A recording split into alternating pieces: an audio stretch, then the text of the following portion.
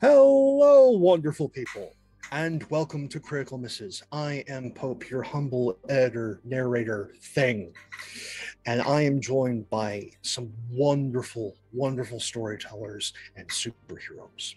So, enough with my jabbering. Let's go around and meet these wonderful people. Um, first up, Kayla, how you doing, friend? Hey, I'm doing doing all right, and I'm glad glad to uh to be to be to be to be uh, to be to be here. My name is uh, K K K K Caleb Belmont. You can find me on on Twitter at Kale- Kale- Kaleidoscopes, and I'm going to be playing Strider, the protege. Fantastic. Someone who is always fantastic is Donna. How are you doing, friend? Everyone. I'm Donna. You can find me on Twitter at Xiabro. Super stoked to be here. Super stoked to, oh my gosh, it's very exciting. Um, Xiabro is spelled X I A B R O. Um, and I will be playing Apollo Lou, the Janus. Awesome. Someone who has a very intriguing background with their character is Layla. How you doing? Doing good. My name is Layla Bamanziari. I use they, them pronouns. You can find me on Twitter at El Bamanziari, and I won't bother spelling that, but you can find it on Critical Misses. Um, and I will be playing Starla Delara, the Reformed. And someone who likes to throw a wrench into things, at least their character does, if not in real life, oh. will be Faye. How you doing, friend? Hi, I'm doing good. Uh, I'm almost Faye, or Faye. Um, you can find me at almost Faye, and I will be playing Saskia Abbott, the Nova, and I plan on causing chaos. And these are our wonderful storytellers for this tale that we are going to weave. Uh, Mask is a wonderful time. It allows us to tell tales of young superheroes. And this is no different. The only thing that's slightly different is while masks generally, generally, focuses on high school, we're a little bit older. We're in college. And if you are, you know, elder millennial here, uh, grew up with 90s comics of, you know, Spider Man and going to a university whose name we may or may not have just directly lifted. So let me get you into this world, folks. Um, we are in the Empire State. We are in the, the northeast of the US. And we are right in Empire City. And we are focusing in, surprisingly enough, at Empire State University. Uh, is a university that sprawls across Empire City. Um, while there are a few featured in built-in campuses, there it's dotted throughout this metropolis. Um, it is a mixture of old brownstones, high rises, glass edifices to to man's power and hubris. And this is a world populated by every single superhero that you could have ever read about, all the way from days of the golden ages to our very modern age. This is a world that knows that superheroes are real. So is the supernatural. Though some people, as we are often to see in our modern age, may be in a different degree or level of denial about these realities or conspiracy theories, as this is a way to explain away far more mundane, nefarious deeds. But whatever trade papers that you are reading, uh, whatever news that you are watching, this world, heroes are real. So are their villains. But we don't necessarily feature in a fight just now. Instead, between all of the youthful heroics, there is modern life, the modern life of a university student, which is where we meet our gang today. Um, in one of the commons between between classes, uh, we find our heroes gathered around a scenic park bench at uh, late winter. It's just that part where in the northeast you're about to experience that false spring. So the temperatures have temporarily gone up. Um, folks are in sweaters but not bundled up for the freeze of the previous months. Instead, there there is no snow. It's just crisp air, not a cloud in the sky. It's a beautiful day. What's less beautiful might be the workload our students are facing. So let's go around and please describe yourselves and what sort of stresses you're currently under as you all are meeting in this common. And let's not go by by normal order. Let's popcorn this because I'm feeling a little chaotic today. Um, so Faye, if you wouldn't mind going first and uh, describing describe Saskia and what they've recently been dealing with at school. Um, so Saskia is, I think the way we described it in character building was they're kind of like the sorcerer sort of person, where they're the really infuriating one in your class that doesn't really pay attention but still somehow gets good grades. Um, they are like the infuriating one that will sit at the back doing nothing, ignoring most of the lecture, probably causing problems for other people, um, and still comes out with like an A or a B. Um, and they are also an RA at the university's uh, Empire Village in Bitterhausen Hall and they're they're the RA that sneaks like they'll sneak the people into the grounds for you past like all of the security like they are the RE that causes problems for every other RE, and they enjoy it. Um yeah. So on this this brisk winter day what is if anything bothering Saskia? Uh the fact that they've got like a bunch of deadlines and they really just can't be bothered doing any of it they're gonna they're gonna submit something but it's gonna be like a 3am like boba high um mess of words and they don't care at this point in their life so that is how we find saskia um at this moment how how are we finding uh, Apollo in all of this? What what are, what how are they doing and what is he facing? Apollo is currently facing um, a limited decision in terms of the outfits he can wear, especially since it's winter. He is currently sporting a hideous furry purple top that borders the line of haute couture and haute glue. He has a black and yellow checkered isometric style pant that he's wearing as well. And he's got these garishly green boots, but he's warm. And so the problem is is that everybody who's seen him has seen these sort of pieces in a fashion magazine, but together they're not supposed to go. And so he's currently dealing with the looks that he's getting, but he doesn't have anything normal in his closet, anything that you could consider not eye catching. Um, but that's like more of a of a shallow concern, I suppose. He's also uh he's on he's actually on top of his schoolwork, thankfully. Like, you know, it's the near the winter, finals are coming up or midterms or whatever the sort of big tests at the end. He's on top of it. He's got all his assignments done or is it has a timeline, very neat calendar.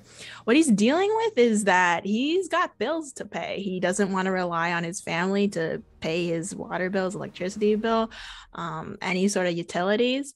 But he hasn't exactly been taking enough shifts at the boba shop to cover it. So he's a little bit stressed about that. Oof. That that's a lot. um, ow. The, the oof, like I I just got a like a text from 25 year old me that's going, hey, take it easy on Apollo. Um, but we cannot do that. And so I want to hear now what uh, Starla is up to. How do we find them today? And what trouble are they facing? Um, Starla is frantic as per usual. Um, they have class, they're skateboarding to their class. And I would like to say they are skateboarding in high heels because they don't give a single fuck. Um, they're they're like running into class. They're like um, put they're taking their hair down from skateboarding so it didn't get like caught in anything and no one tried to like pull it or something. Um, and it's like it's foundations of improv. And they just always almost sleep through this class every time. And so they have like their they have their saffron boba tea and they're trying to suck it down as fast as possible because the class takes place in the theater but you're not allowed to bring drinks that aren't water into the theater. So they're literally five minutes late right outside the door just just sucking as hard as they can on this boba tea hoping they don't choke um, and after this they will probably have to have a rehearsal for the musical Indiana exclamation point the musical. Um, and um, their ensemble, don't worry, they didn't get the lead. Um, and yeah, they'll probably have to work after this, go to the arcade and help out a little bit as they typically do. Um, it's a lot. Yeah, and as a former university improv professor, I I am I am already getting flashbacks and I'm angry. Um, I already know who this professor is. His name is JJ. He is big, jolly, mostly jolly. Uh, but like has the body and build for those of you out there who are familiar with Muppet Christmas Carol, he is the ghost of Christmas present in human form. Well, you know uh, what? Starla is haunted. So I think that works pretty well. Yeah, no, big, jolly, giant red beard, ruddy face, generally jolly dis- disposition, but at the same time is like six four and maybe half as wide. He, a giant of a man. Um, and at the same time, he can be like the nicest, like giant cuddly teddy bear of a professor. But at the same time, if you somehow, some way, get under this man's skin, he is one of the most terrifying forces of nature on this earth and you have fought supervillains, but none of them are quite as scary as as he when he is angry. Um, so we now have that in the world. Um, so Kayla, tell me how Scott is doing and what trouble is he facing?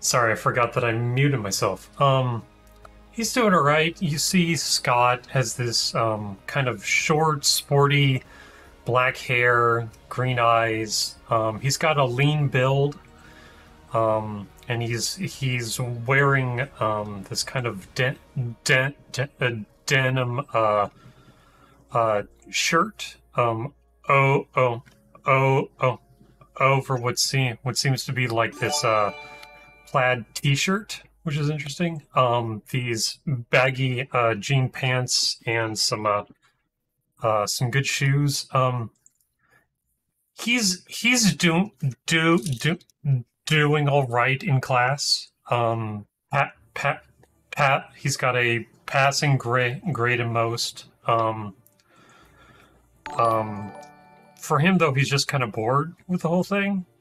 Um, because for him, he's done this before. Um, but he's currently on the bench, just kind of with a cup of like um of of sin of sin of sin of sin of sin of sin sin sin sorry cinnamon tea um, and is currently trying to scroll through his phone to see if there's any news that is interesting because he really does not want to go home right now. Like, that's the last thing he wants to do right now. And as as much as I dread to ask this, but I must, Mhm. Why doesn't Scott want to go home?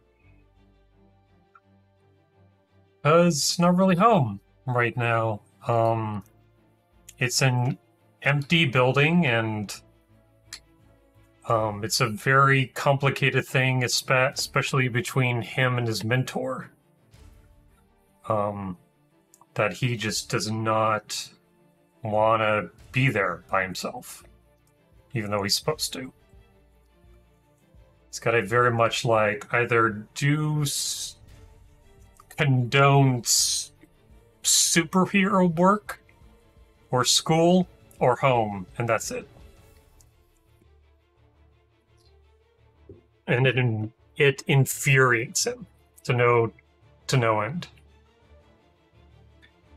So these are the quick little flashes and panels that that we see with these characters. The these little quick cuts that you can see upon the page um, of of Saskia just going about. We can see the the open laptop screen in a room that is completely darkened, just sitting there staring at, at- as we have all done, where you have that document open and it's just there's not a word on the page, there's just the cursor flickering. And then it sort of just like spirals and kaleidoscopes around that one image. Um, we, we see Apollo with that closet of incredibly fashionable attire. Like th- this is stuff you would see if, say, you were in London. Like this is high-end fashion. This in New York. This is this is the stuff that you know designers make and put out there. Just a closet filled with the stuff. But on this particularly crisp but not freezing day, there's nothing that quite works together. And as we pan away from cutaway and having our beautiful panel, we see just a pile of bills on that little like desk table right by the door in your apartment. Where you just that's where you throw the things that you don't want to deal with. And we see a lot of letters on that little side table. Um we we see a our large formidable foe of of of JJ. They're just staring off stage as the rest of the class is gathered there on it, um, waiting because he can hear. He's got exceptionally good hearing. He can hear the slurp of boba at this point, and there that jolly demeanor one one little blood vessel in the eye goes from normal to just flared one nostril just kind of snorted um as starla is sucking down that last bit of happy juice before going to this class and Can he see me? No, but he can hear you. Okay, just here. But he knows by this time in the semester, he knows. and then with Scott, we, we can already see like cuts to the Strider uniform sitting there in the lair, sitting there in the base. See newspaper clippings of him back in the day. Of newspaper clippings of the Vale, Strider's mentor, teaming up with all sorts of heroes from street level to those that deal with cosmic threats. A storied hero, one not necessarily loved, but respected, feared by some and an empty base. For those who follow the comics, it's one that we've seen before with another youthful team that Strider was a part of at one time. But instead of populated by friends, heroes, all, it's empty. It's empty but a few boxes that Scott has left to his name, that Vale brought from a vault that Vale kept when Scott went missing. You can even see a single moth hanging in a closet. That one now entirely out of style jacket, moth eaten, bunch of wire hangers hanging in that closet. There's a few tables, but there's not really any furnishings in that that base. It's quiet. Unfortunately, quiet. Now we have this this big panel after all these things of our four heroes gather around one of those plastic lined corrugated park benches that you see modern invention um, and there they are between between classes betwixt everything having a moment together. It's not long ago that they just recently started working together. Strider and apollo have had a few dealings before. The mark starla probably more in the know than most knows of these individuals. And Saskia, well, Saskia is there to cause whatever good trouble they can. And so it wasn't that long ago that they all joined up. They may have done like two other significant jobs since. It's been three months since the incident. And in this moment, you all are together and you all have one class. Doesn't meet today. Not today. But tomorrow night, you all know that you're going to have to attend the Ripper's Introduction to Psychology. And you need to exchange notes and get ready for how that monster takes attendance. The floor is all of yours. So, I'm sorry, what if we all just didn't show up? If we messaged everybody else and told them not to show up, do you think that they maybe would also not show up? And then he couldn't be mad at us for not showing up because Oh, no one. Oh, I think I think I um I think he can. Yeah, he'll he'll be mad for sure. Like if the whole class doesn't show up, I'm pretty sure.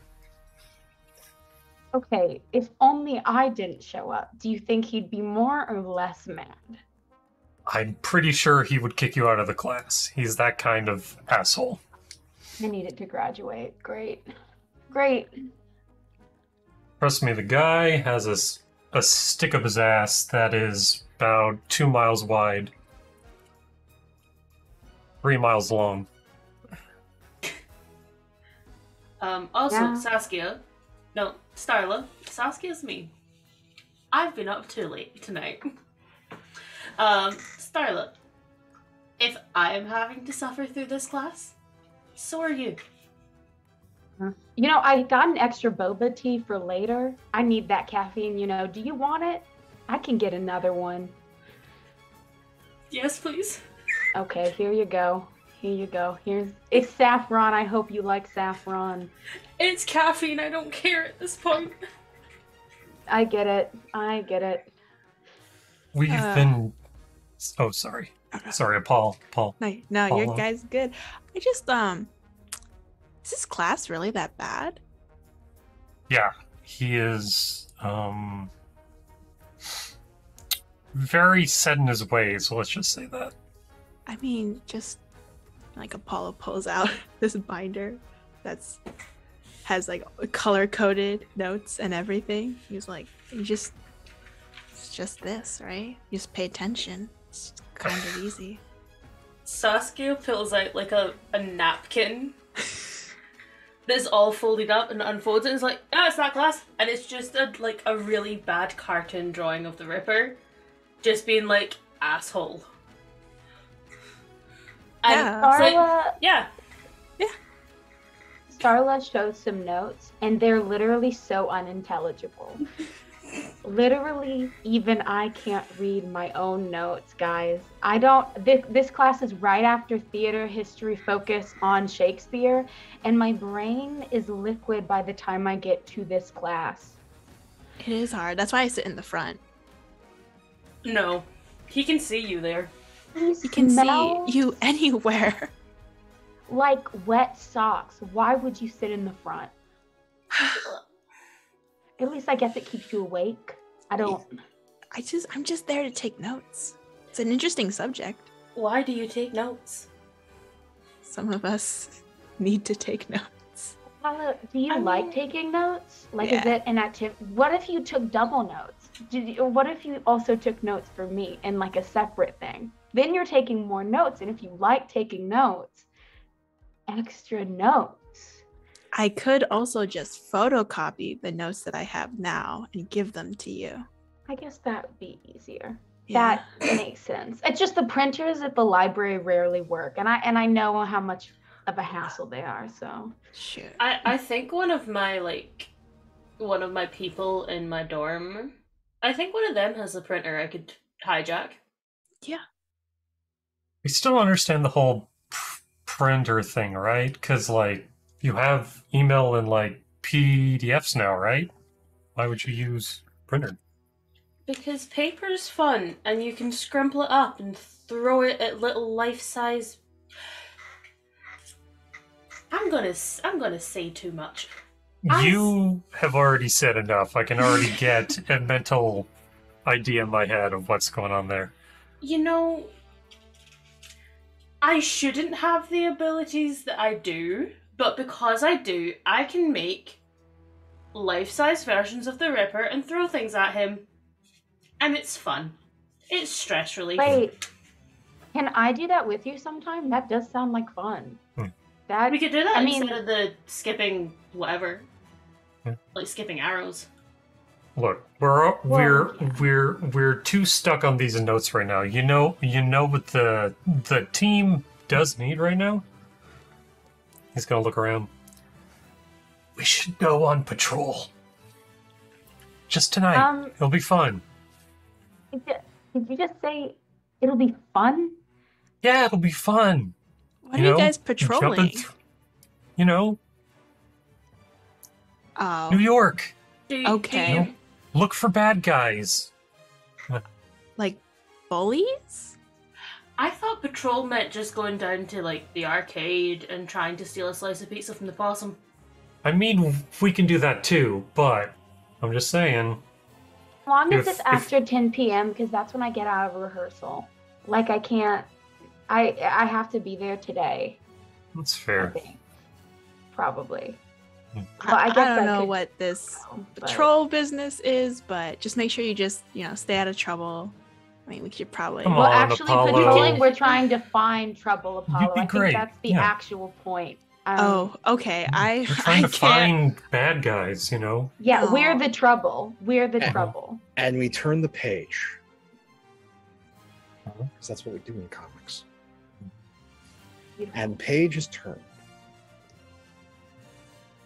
And as we see the, upon this new page, um, we cut to a boardroom. It's very posh, very well put together. And there are multiple screens all playing at once, different parts of the city, different previous bank robberies, robberies of different tech conglomerates, and then very well dressed is Candace Esper,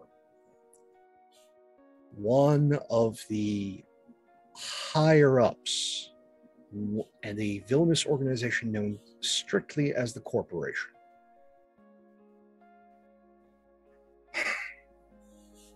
So far, business has been good.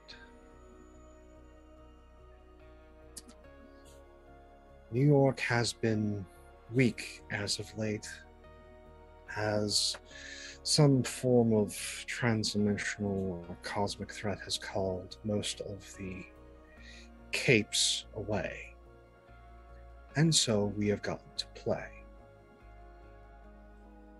But I have a good idea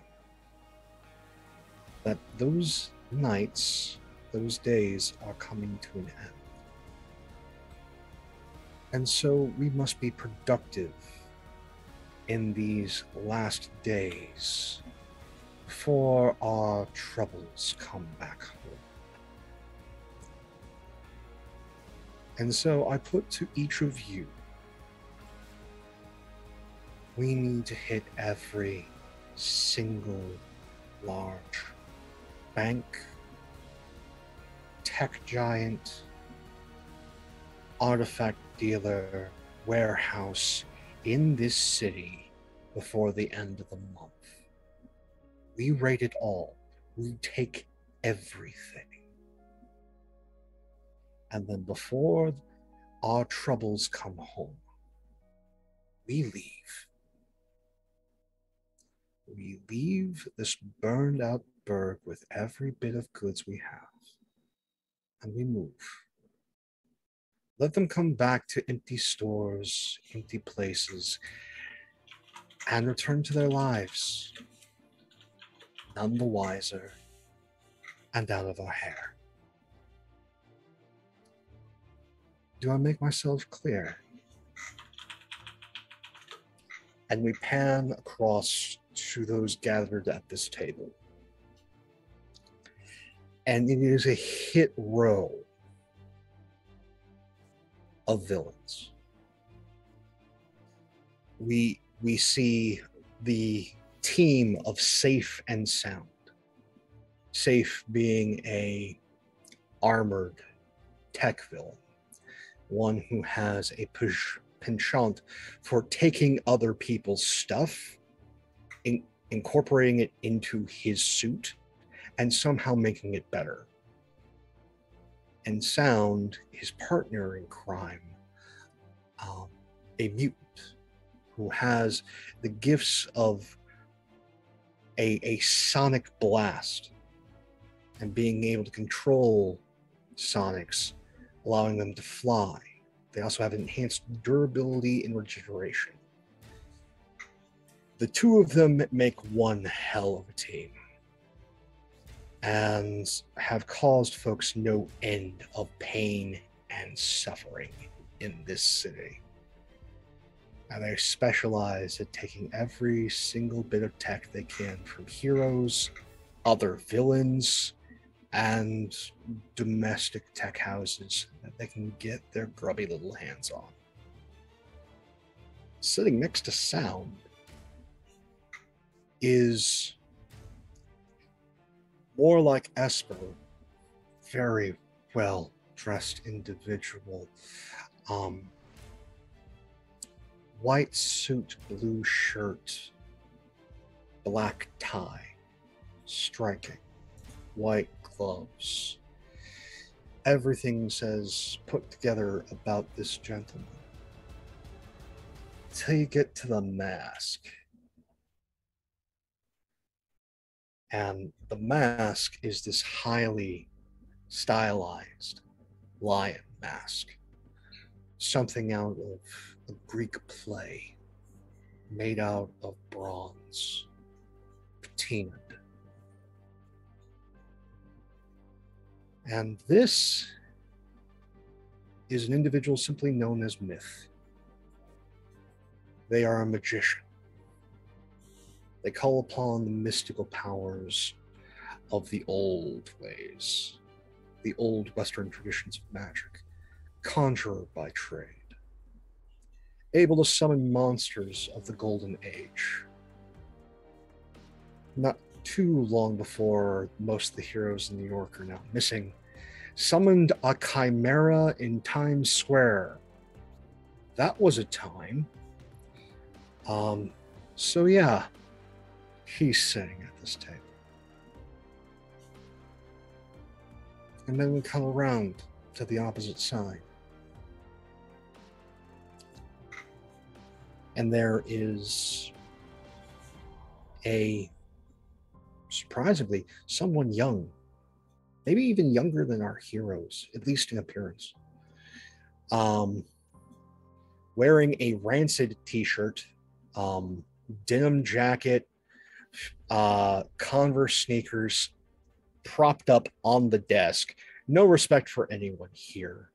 Um, big red faux hawk, like emo over over one one eye, um, and the they're just known as punk,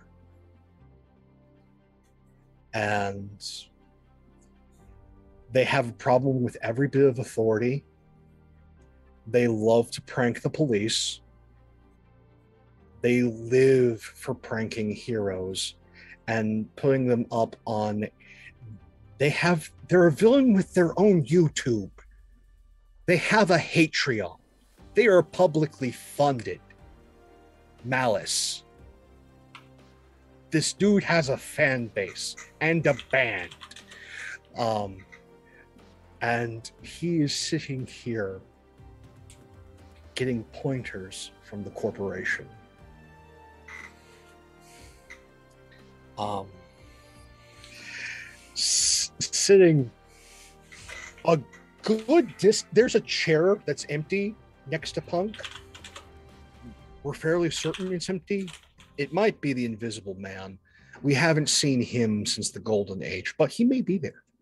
Um, and then next to that empty chair uh, is a, a a woman who couldn't be more of a contrast to punk. Like that little black dress like the height of fashion little black dress sitting there obviously bored out of her goddamn mind. Um, and does not, obviously does not want to be there, has better things to do. Um, is Ms. Malice. Um, possibly one of the most villainous and powerful telekinetics on the entire eastern seaboard. Like this is somebody who who can look at the Statue of Liberty and rearrange it. This woman has crushed tanks with her mind. But somehow the corporation has her here. And sitting at the other end of the table is the most odd amongst them. Simple dude. Nothing special about him. Just wearing plain black t shirt, khaki slacks. Like, looks like somebody who should be working at a Best Buy.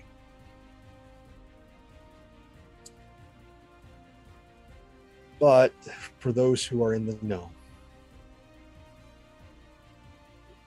this man's everywhere because that's his big ability. He makes copies of himself, and they're all networked. This is the hive. And he is here and he is listening to this briefing.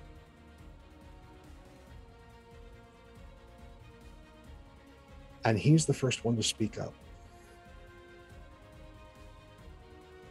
Some of you are not as connected to the city as others are. And Esper, while I can agree with taking while the taking is good, leaving is not something that we do. Now, you want to go offshore to some other place, that's your business. But the city is our business, and I'm not leaving it.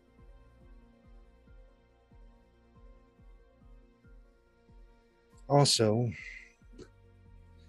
I have it on good authority. And he just sort of smiles. That there are plenty of heroes in the city. They just haven't made a big enough wave yet. So, also, you've lost track of Vale, haven't you? And he just looks over to Myth. And Myth's hand raps upon the table. I lost track of Vale two nights ago. I don't know how. But she managed to remove the mystical trace I put on her. She's the last thorn in our side. And she's loose. And we turn the page. Scott, you have a communicator on you at all times. Hmm. William? It's hard to forget that. And you just get a simple buzz from it. When you look down, it's a message from Vale.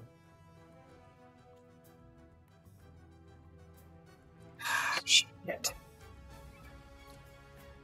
Hey guys, two minutes. I gotta take this. Oh, okay.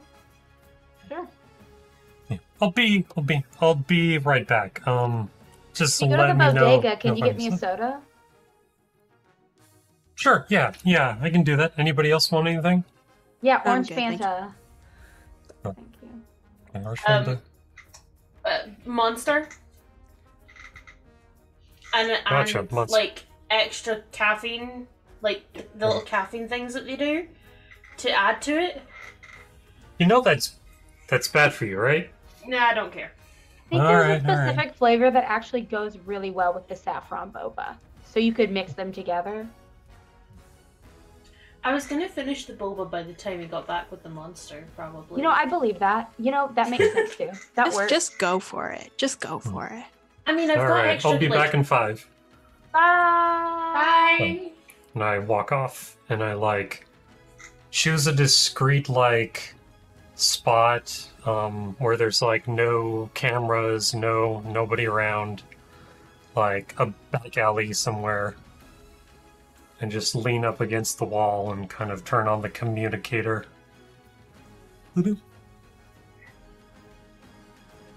So, I can't talk for long. City's in danger. Corporation is moving. While the heavy hitters are out, out of town, they've taken notice. I'm going to try and do what I can to sabotage the heavyweights. But I need you and your team to pick up the slack. There's likely going to be a number of break ins over the course of the next week. Stop them if you can, please. She never says please. It's really that bad, huh? It's that bad.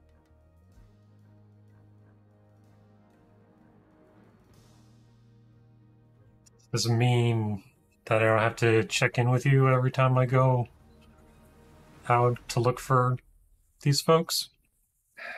Just give me a report once a week, okay?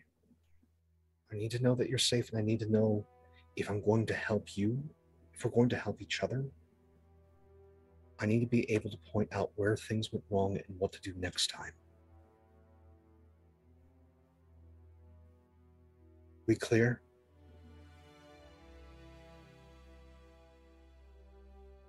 Yes, ma'am. Good. Clicks off.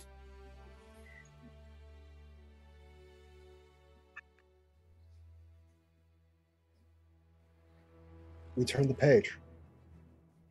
Mhm. So, Apollo,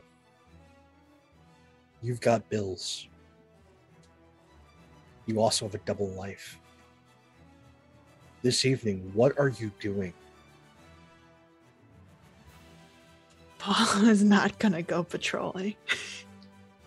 he is going to take a double shift at Tai Chai and try and make ends meet.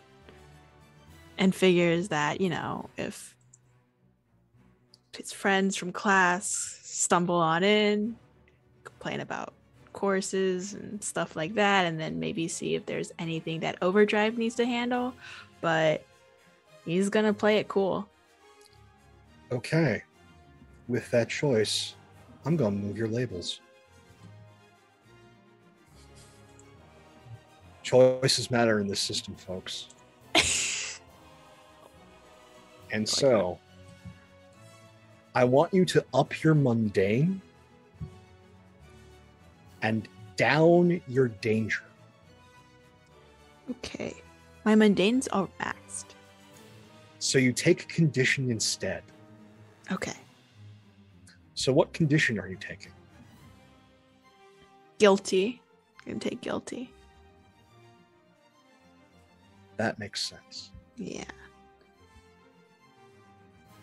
Kind of feeling like, oh, like maybe I should don the mask and be overdrive and just pop in and be like, hey guys, how's it going? But I also cannot, I will not be able to handle it if my water gets cut off. And then my family will know that I'm struggling and then my life will crumble. So, with guilt in your heart, you go and take a double shift. So, right after class, you're there for the evening shift and the closing shift. Because anyone who's worked in New York, places close at 3, which means you're out of there at 4 a.m.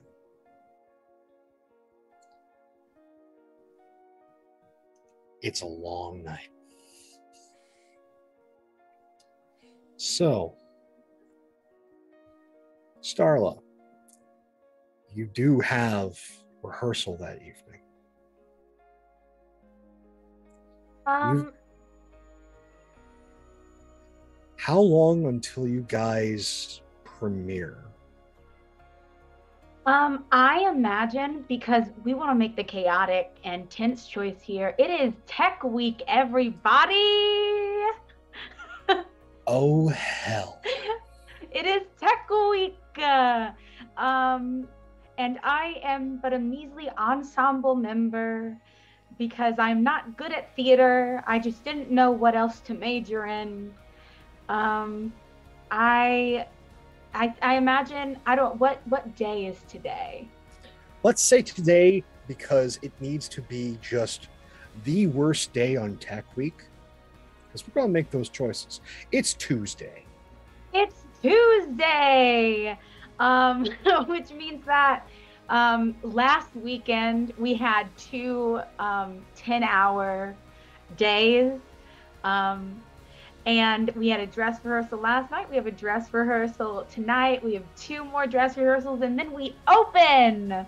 And I don't know the songs. I really don't. Um, I've been busy trying to pass my classes and not get killed while also fighting other people. So I'm really, every time I'm in rehearsal, I'm like vaguely singing the same thing as the person next to me and hoping no one notices. It's like a pretty big ensemble. So, like, there's a chance that that might work, or at least Starla is like, I'm sure no one can tell. I'm sure no one can tell. And that would be stressful enough. It would be. But someone has decided to sneak in and has snuck in to the theater while you're doing tech. No one else seems to pay attention to this old woman. But she sticks out to you like a sore thumb. It looks like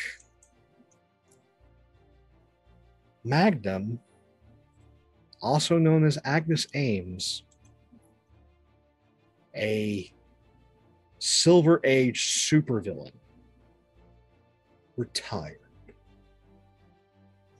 has snuck in to your dress rehearsal. She's just taken a seat in the audience. There are the director and assistant director are right up front, so they haven't noticed. The booth is out on raised platform. She's in the perfect blind sight for everyone else in this theater. She's wearing dark garb. But she knows how to be seen by who she wants to be seen by. And while you're fumbling through the steps and the words, your eyes meet. She smiles. It's almost like a cat when they're about to pounce on prey.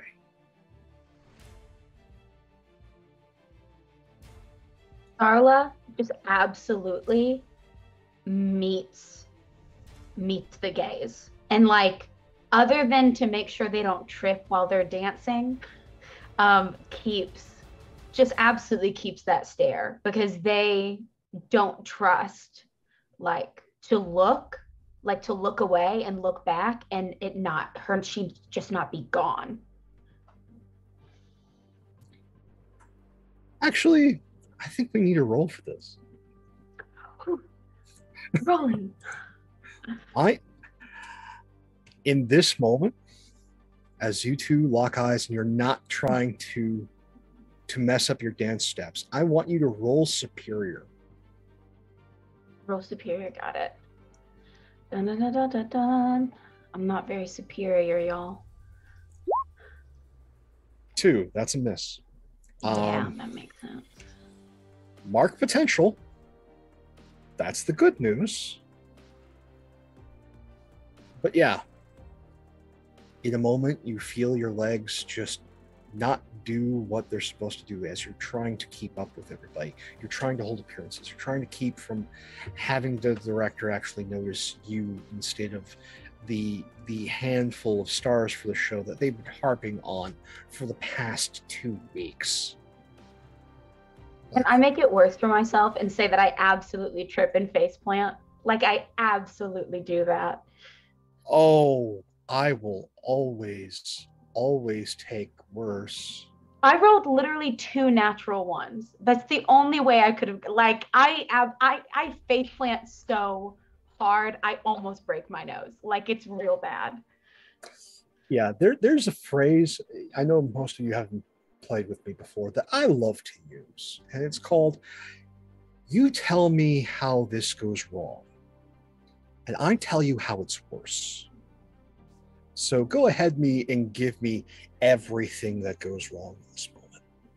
Um, I think um I trip, but as I'm tripping, I'm still trying to sing. So I just go, "Ah!" and then I just like absolutely land like, like, like I literally hit my face on the floor. Like I moved to the side just in time not to break my nose. Um, and I start trying to get up, and I go, "I'm okay, everybody," and then I trip again like trying to get up because my balance is off from how hard I just absolutely ate it. Um, yeah. And here's how it gets worse. And boy, does it get worse. So, the heel on your character shoe popped. It just went off um, like a shot. Uh, the director is completely fu- flustered, just yells at the back, "House lights, please!" Um,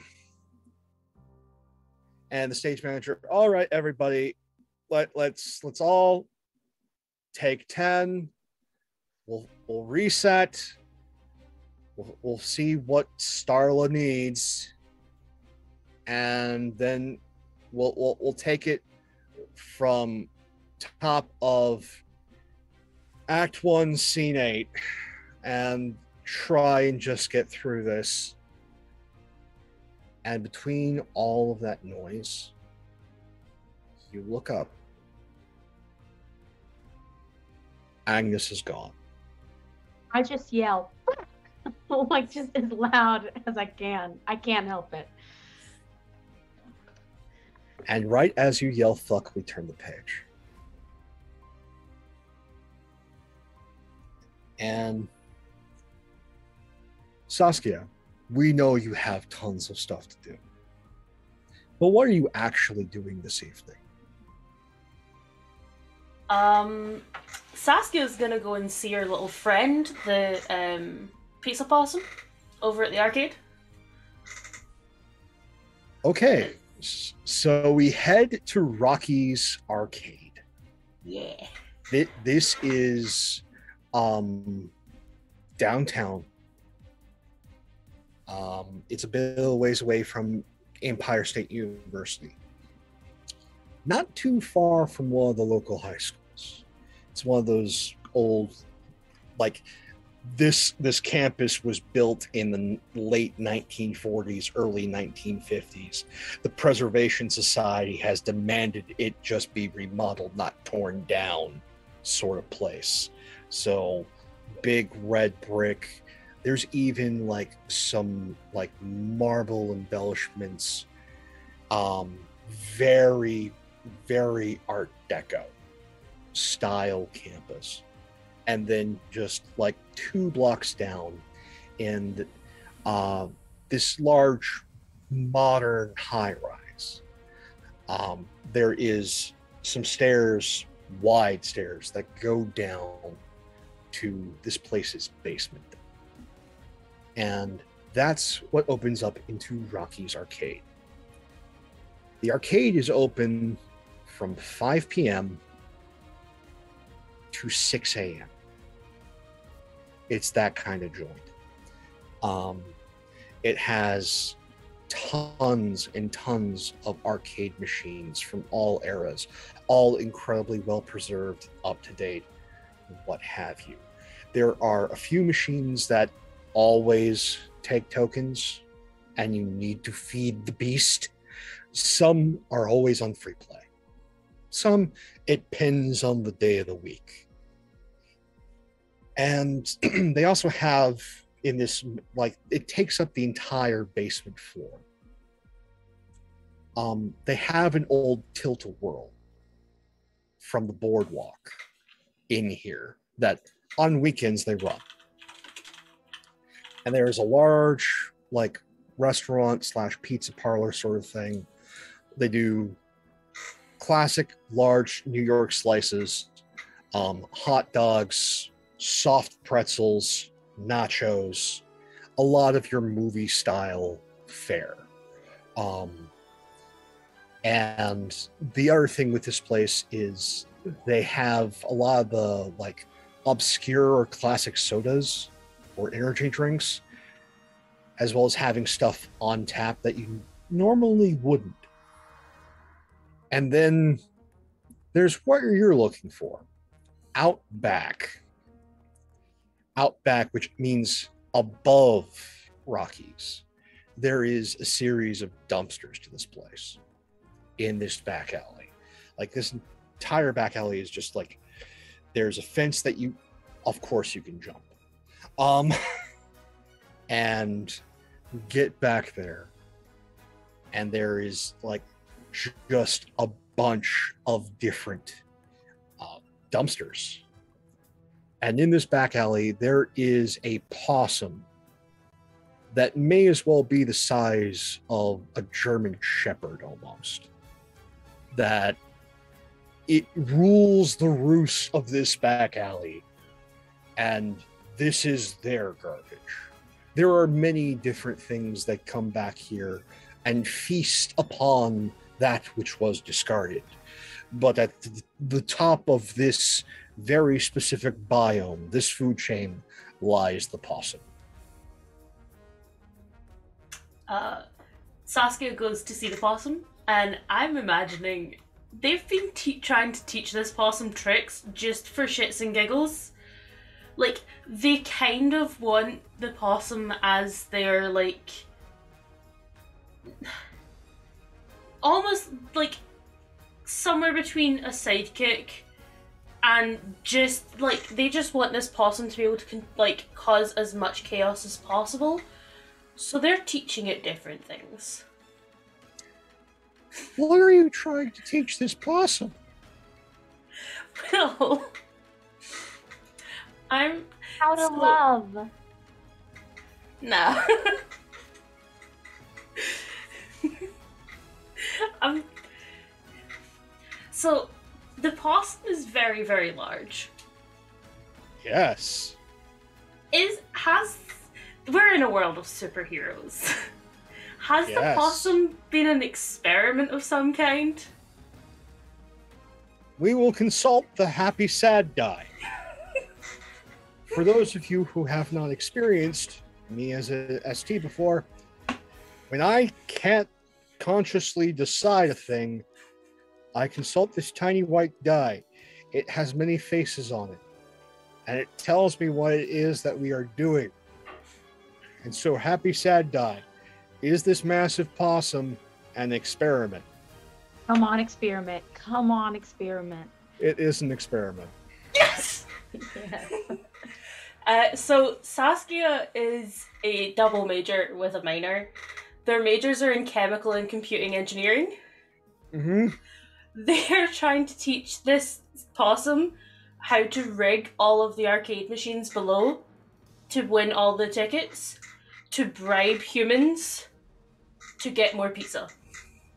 But fresh pizza. However, this will be a transferable skill at a later date, Saskia believes. Um, Because chaos.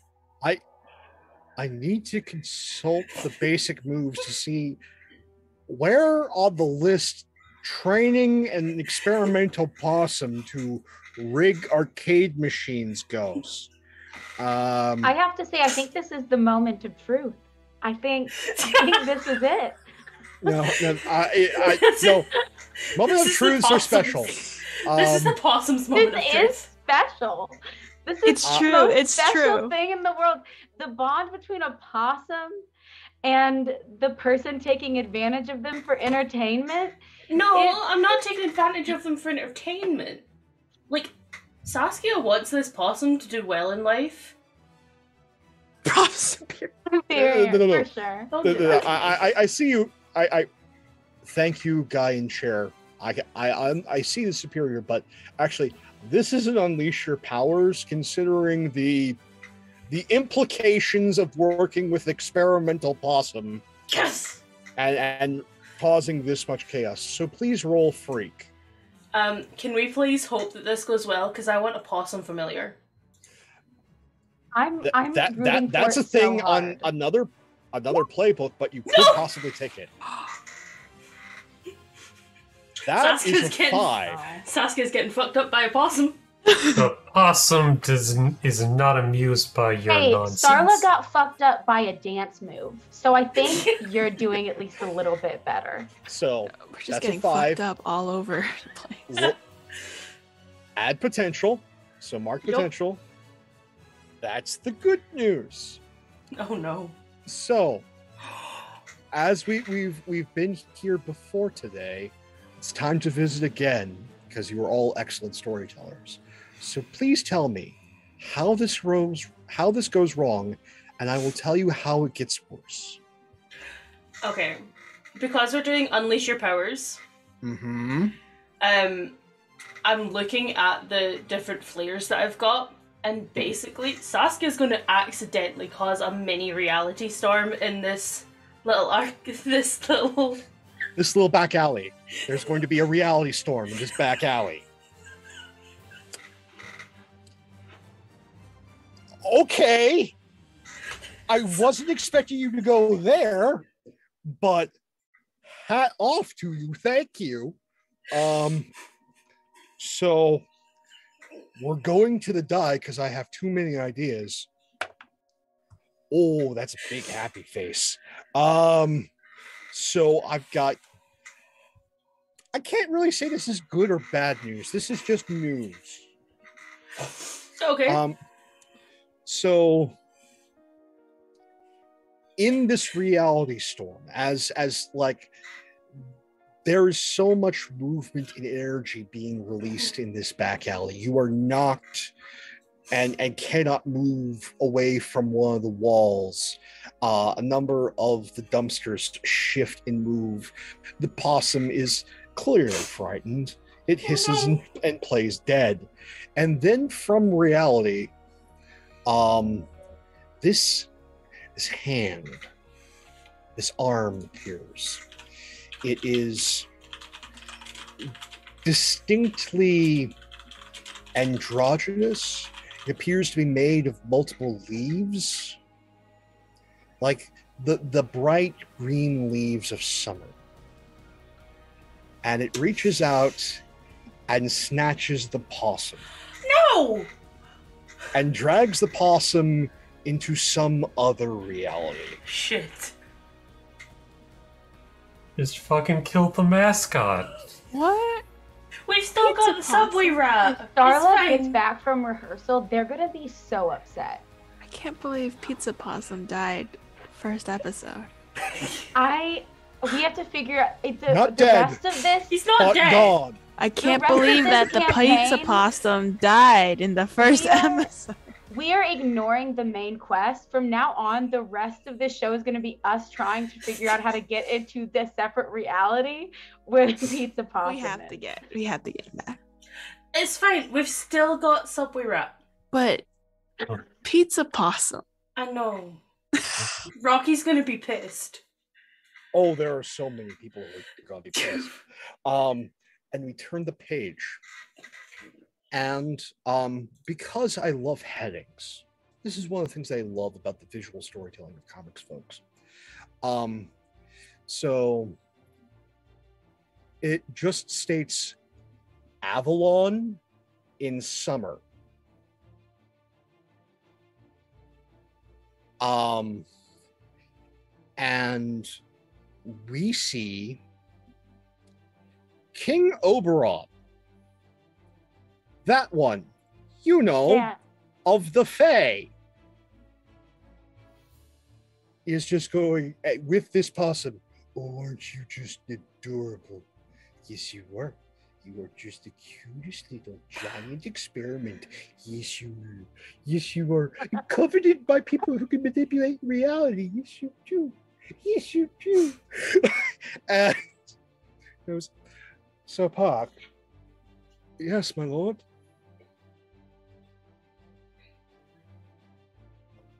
Do we do we give this as a gift to my wife to mess with the heroes? That would be advisable, my lord. Um, No. please gussy this creature up. I believe pink bows are in this season, right? Yes, my lord. Um, Yes, please gussy them up and see that Titania receives her present. Very good, my lord. and Puck comes striding along, retrieves Pizza Possum, and, and goes to give Pizza Possum a Fey like spa day. And then there are a number of pink bows attached to this creature, but we'll get to Titania receiving it later. and we turn the page.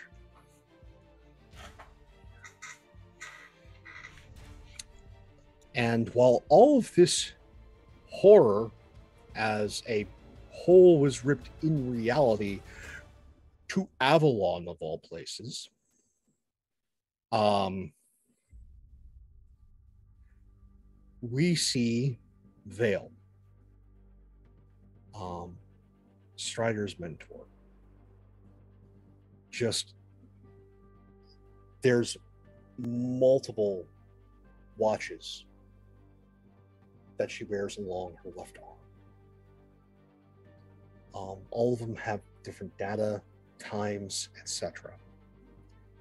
And one of them, we see her look intently as it stops at the very moment the reality storm happens. And she just looks at it and goes, taps on it, then pulls out a pad and pen, old school style, and just writes. And we see a list of other threats and problems that Vale is currently dealing with. And then at the bottom just writes reality incursion writes the date and time. Slips into the back pocket. And then we see Vale do the superhero thing. Jumps parkours off of the building, down the sides of an alley, back and forth to then hit the bottom street level um, and we see another hero we thought lost previous due to all the things going on in space right now. But um not quite a hero, not quite a villain. Tussled with Vale a few times. Sanguine. Um she's a vampire. Think if a vampire and the Punisher were one person, that's sanguine.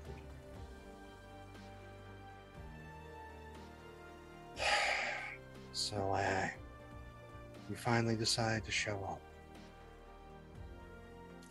We see the text box from Sanguine. Yes, I decided to show. Are we going to work together or against each other? I think an arrangement can be made. So, you get to deal with your little Mickey Mouse gang to pick up the slack. I won't go after that one's family. I'll let them live for now. But if they get in the way, Vale, well, sometimes I just don't have control of the beast. You understand?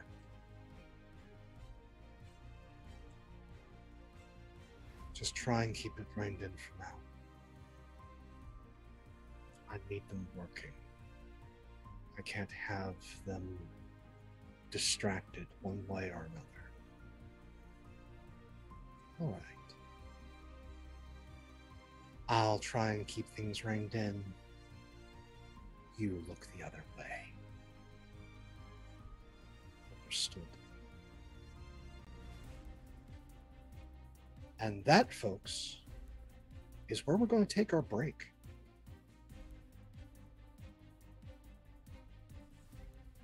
So, take care, get up, have a refreshment, fill those drinks. We will be back soon to see just how much more wrong the city can go before our heroes have to burst into action. Take care, everyone. See you.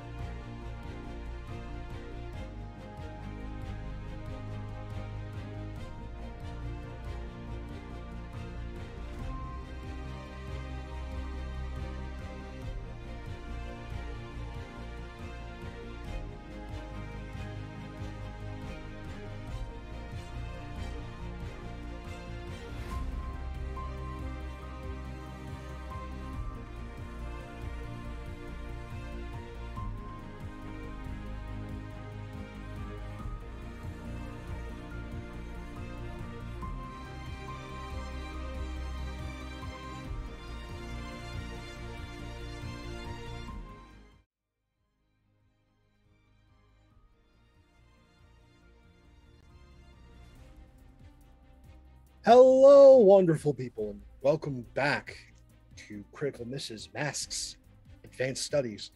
Um, we just got back from break. Um, quick little housekeeping thing here. You, yes, you, can interact with our story. You can do this through redemptions from those delicious channel points. Um, so you can plus one weapon. This is most likely going to be a plus one forward in system. What that means is the next roll that an individual makes gets a plus one to it, which in this system, it's big. Um, plus two magic item. This is what I like to refer to as MacGuffin time. Um, I am from the John Constantine School of Magic.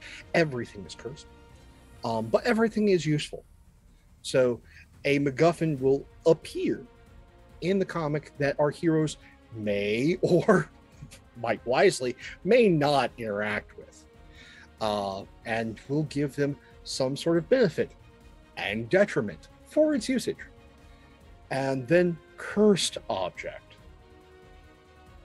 Cursed object for our, our foreseeable future means that um, I'm just going to use that as an excuse to introduce yet another villain to our campaign. So if you want to populate this city's rogues gallery to Gotham like levels, feel free to spam that. Um, I will try and get them on screen, but I cannot promise they will all be there or confront our heroes. But I will have a cavalcade of things from asylums to penitentiaries to boardrooms to just fill with villains. So feel free to hit that cursed object and give us another villain. Um, also, Hurt just- us, please. Hurt Also, us. I love MacGuffins, so that that plus two magic item, yeah. There's there's gonna be all sorts of terrible things that they can come across and use that's gonna bite them in the butt. Um, so by all means, please, please, please interact. We'd love to have you. And speaking of love, turn the page now that we are back.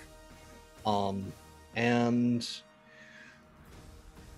we we just see a full page panel of our our our pizza possum just in the hands of Queen Titania. I love him, and is just like squishy, like oh, you are you have social attachments to so many people in your city. These entirely striking sapphire blue eyes just gleam with both delight and malice as you can see almost the gears turning in this Fae's head as to what to do with this most delightful possum that's been experimented with, been exposed, exposed to a reality storm, has been in Avalon, is now in the hands of the Queen of the Summer Fae. Let me turn page.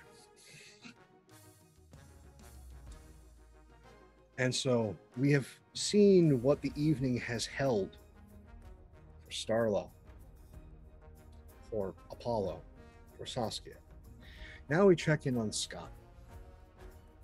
Scott, what are you up to this evening?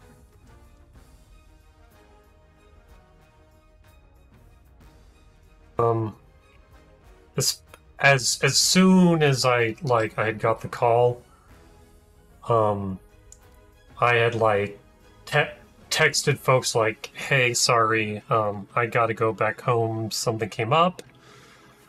Um, I get back to the base, lights go on, pew pew pew pew, you know. Um, and I start to suit up uh, with my new suit. Um, it's a, it's kind of like a dark gray. Um, there's a bit bit of a splash of per, of per, of purple um, on this like line that goes down like a kind of like um like vest chest thing, you know, where it's like it goes to the side and then like buttons on one side and it's got like an S on there. Um, but while I'm doing that, I'm just looking at my old costume, my old spotlight costume. Um, and I just kind of stop. I know that there's like this, this like helmet that I'm supposed to wear with the new suit. It's like one of those like futuristic full like full mask kind kind kind of things, kind of like a Daft Punk look.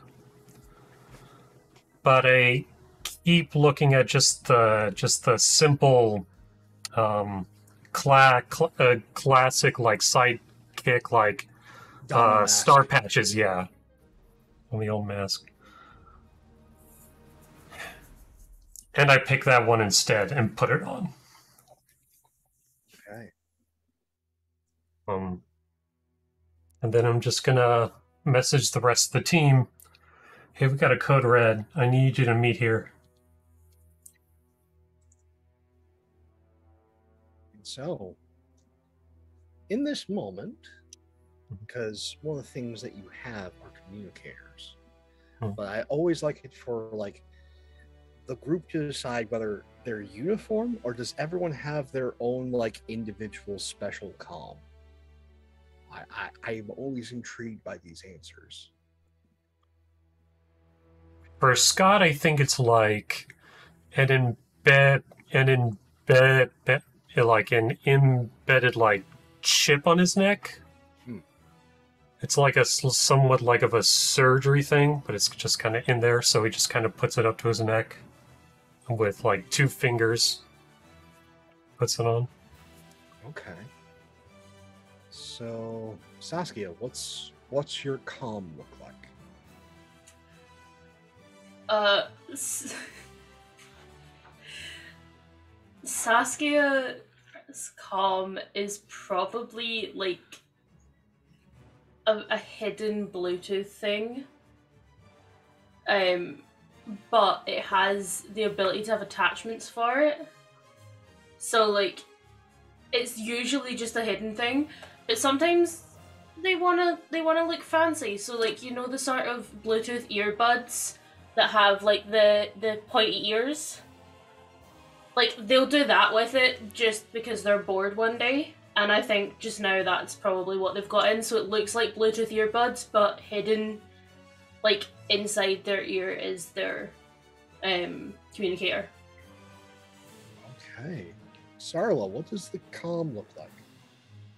I think that Starla's comm is uh, uh looks like lipstick. Actually, honestly, is lipstick. But then like you can there's like a little compartment in the lid that they can like click or something, and it turns into a comm. And so sometimes when they're in the bathroom, they're pretending to put on lipstick, but they're also muttering to themselves, so it looks really weird because their mouth is moving while they're trying to put on lipstick. I love it. I love it so much. And what's Apollo's comm look like? Wallace Com is a good old fashioned flip phone, and he will Hey. flip it open and put it up to his to his to his ear to communicate. Nice. Very nice. And so a, a code red from Strider goes out into the night. Um amongst you, who is the first to respond? I don't respond over comm, but I do start heading there. Like I don't tell him I'm going. I think it's just I show up every time there's a code red so fast that I just I don't even have to say it. Like he knows I'm on my way. Okay. Who's the next in line to show or to respond? I feel like Saskia will be like the first to actually respond. And it's just like, I'm on my way. Anybody want nuggets? I would like two or I then I respond. I, would like two nuggets and I don't mean like two nuggets. I mean two orders of nuggets, at least 6 in each. Thank you. you're getting two 20 boxes. and I'm I'm doing this into a lipstick. I want to remind everyone. but yeah, am delighted. Saskia's probably the last to actually physically show up, but they bring McDonald's. So I mean, Hmm. benefits. okay, I'm now just picturing that there's that again. Those there's the high rises that have the uh, fast food joint in the corner, like where the corner of the road is, and all of two blocks away from the base is this McDonald's that's open 24 hours in this high rise, and the people there, like they're they're pretty much dead like drone like you know you've been to a mcdonald's. You know these people there's like the one person that's there that's working the the late night am like early am shift that has way too much energy but everyone else there is dead. Dead either in the eyes or deep inside. Um and like you can come in their superhero outfits. They do not respond. They just take your order, fill it, give you whatever it is you need, and as long as there is currency and no trouble, they do not care. Except for that one guy that's working there from 1 a.m. to 5 a.m. He like has that part-time shift and is just delighted to see any superhero. That's the reason he's taking the shift. It's because superheroes go to this McDonald's and they get stuff. And is I absolute fanboy. Every time Starla has to interact with him, they're just like, God fucking damn it. Every time they walk in and see him, they're like, ah, oh, hi. Hi. Hi, Jonathan. How are you today? So good. Your usual? Yeah, give me all the nuggets you got. Gotcha.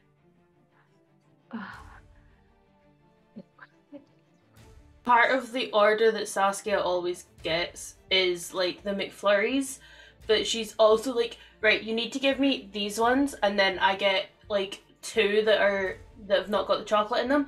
Those are for dipping the chicken nuggets and the like chips into. And I will not take criticism on that because it's brilliant. I have also decided as an executive decision, this is the one McDonald's in all of New York whose ice cream machine always works. I, f- I feel like that Oh. might have been Saskia's decision. Like, did a reality storm when they first got there, and was just like that one works. I don't I care about the, the others. idea. This I love the idea that you did a reality storm and like you pulled an ice cream machine from a dimension where McDonald's ice cream machines don't break down. yeah, it's like just don't fuck it up. If you break that machine, I'm burning shit. Like, Darla just- goes, if you break that machine, I break you.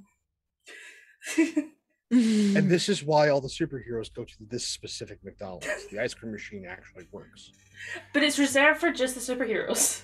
No, no, no, no. Everyone benefits. Like this is, this is, this McDonald's is a protected site in New York.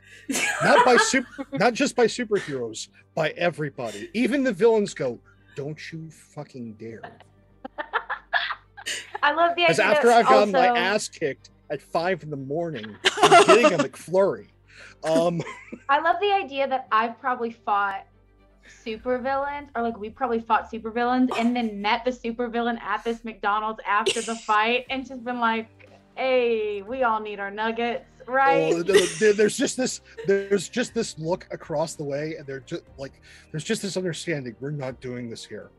This is sacred Where the ice cream machine could be casualty. Yeah, the, the, Yeah. we, we, it's every other part of New York can get absolutely like leveled and this one high rise the rest of the high rise is gone but the McDonald's is fine the, the, yes, yes, honor poet. It is mixed Switzerland. You, you've got it on. Switzerland!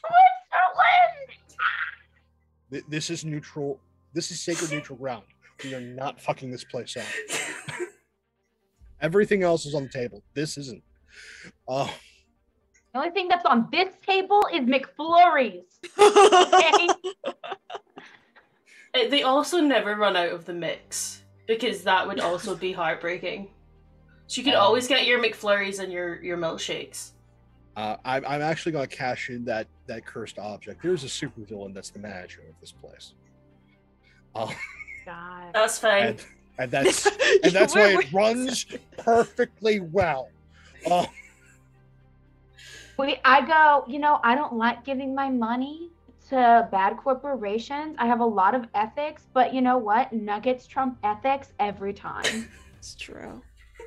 It's just that's just objectively true. like Yeah. if if someone gets food poisoning here due to somebody's malpractice, that person disappears. Um, I'm just I'm I am certain of it. I that this McDonald's is now a canon place in all of my my my stuff going forward. And Yes. yes, there is a supervillain that runs this McDonald's. I Um, look at Jonathan. I'm like, don't mess up my order or I might complain about you. You know what happens. It's not very heroic. I feel like McDonald's really just throws the ethics out of the window. the, the group that's how of they us get everything like, on time. Um, we're technically heroes, but aren't we? We're all villains when we're hungry. you you need a Snickers for real. Their slogan is not like you need to make like flurry you're a when you're villain. Hey, You're not you when you're hungry. yeah. Have a slogan. McFlurry. And so yes, this is the chaos that is this game. I do I apologize for nothing. Um so Apollo, Yeah. you get this this red alert text from Strider. Um but you're also in the middle of a double. Yeah. Like th- this is like I want to say around 11 p.m. at night. You've you've ju- you're you're not even close to break. What do you do? Paula doesn't go. He doesn't go. Oh, Apollo Apollo opens up the flip phone, opens up a text message. It takes like forever for him to punch this in, and then he says, and he punches in. He says, "Uh, like 15 H's," and just hits send. What does uh mean? He's Overdrive? already there when we get this message because that's how long it took for you to type out the message. I turned to I turned to Strider. I'm like, I think that means more nuggets for us. Apollo Apollo follows up with another text, and it's like, "Gonna need." And hit, and but that's it. Corpus on the mood. Um, Uh, so, I want to try to influence Overdrive with this. oh, you're gonna spend an Influence? I'm gonna play the captain. Like we really need you. Like it's bad, bad. You can attempt to spend influence. Okay. Um, and yeah, let's let let's go into the deep deep rules here because I was I wasn't expecting this out the gate, but I am here for this. As long as y'all are like okay with this, because I don't want to like step on anybody's toes. So You're good. You're good. just using influence over overdrive, right? Yeah. Mhm. I don't mind it. Okay. so- Would you? it's, I don't mind it. It's not me, so. oh Yeah, yeah. yeah, yeah. Go ahead. I have to look. I I don't know what the rules are for Bill, influence. this is this is well, this is expending an influence. Yeah. um where okay so Oh, I think I just can- have a plus one on any You- roll well- that targets these people. you can you can use that for for the roll that's the passive ability you can expend to give them a minus two on a move they just made after the roll Mhm. inflict a condition on them or um take an additional plus one on a move targeting them. So you can get actually, and this is after the roll. Huh. So um, think I You want to do a provoke someone roll. you can do a provoke. It's at a plus one because it's specifically on a target that you have influence on. And thankfully, Overdrive also has a plus one against me. on the roll. Yeah. So go I'm ahead gonna and roll, send. roll that superior. Hmm, I'm gonna like send back like a text of just like. I mean, when we you know brought brought brought brought uh, brought down the uh that that mob ring, you sure sure were a, mo- a lot more respon respon responsive than this. So go ahead Sorry. and roll that I accidentally messed with my light and it's fallen. It's okay. Okay. Plus one. So I just put one or plus one Just put into one. this. Okay. Just put one. Ooh, full hit. There we go. full, full hit. Okay, so um for PCs, um so on a 10 plus, if they so here here's your options. All right. Uh their overdrive. If you show up, you add a team to the pool.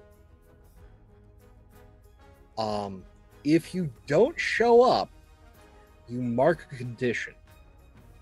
What do you choose to do? Oh shoot. I mean, Apollo already feels like guilty. Um, and so this is just gonna eat him away on the inside. So I think Apollo's not gonna respond for a while, but like through like overdrive's not responding. He's not texting anymore. But apollo is frantically trying to figure out how if there's a way he can still get paid and also show up. But um but he's gonna show up. Okay, if you want to try and finagle something, um, if you don't have it planned right now, you can just roll me superior to assess the situation and possibly figure out a plan. okay. There. It, it's a hit. Okay, so with, with a hit, and we're, we're going to again finagle sort of the success because normally you only get like a question off the chart, but here we're we're trying to use what's here and and massage these rules. Um, you can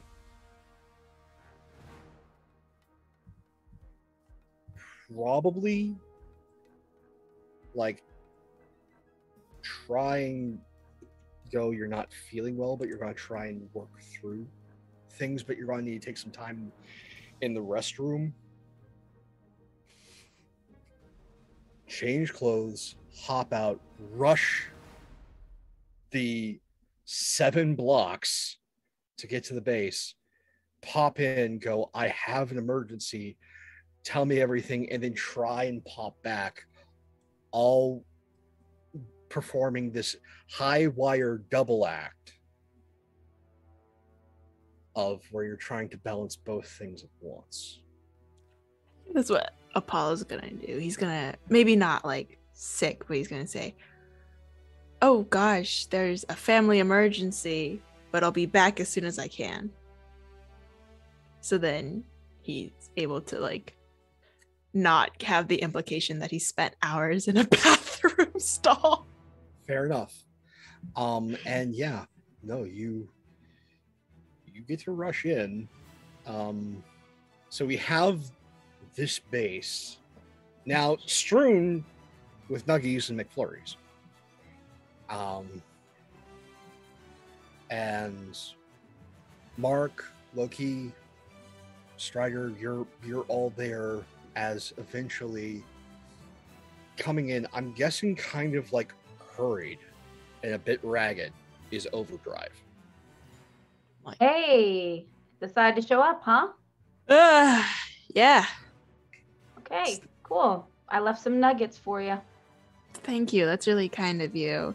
Um, I can overdrive nice. is yeah. You are always nice. Uh, That's not Oh. true. okay. Sorry, I said that. Overdrive does not move to like take the nuggets. You can't. It's like, is it guilt? Is it? He just doesn't want to pull down his mask and eat them. Just like set it down on a table near you and go, okay, for you for later. Oh, you can have them. I'm not gonna argue with that. Okay, great. I don't. Yeah, don't argue. great. Are you okay? Yes. Seem a bit tense. No. Do I do I look tense to you? You Look Not like in a you're, um, confrontational way. I'm sorry, that came out really wrong. I I I just meant I'm totally fine. Um I'm not gonna give him a look. Like, hey, yeah. um, Yeah. So, uh, the Vale reached out to me uh, today, and he's going to look, point to a map that that that, uh, that he has that's kind of built into uh, where they're trying to eat. So it kind of moves a couple of like like drinks and bags and stuff like that. Okay, so I reach over you as soon as you start talking to grab a McFlurry, like completely interrupting you. I'm sorry, continue.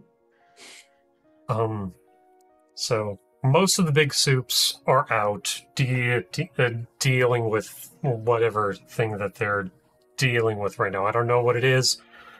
Um, all I know know is they're gone. Um, the Vale said that there's going to be a a series of break-ins, and not just like banks and stuff like that. I'm talking like like big tech big magic um and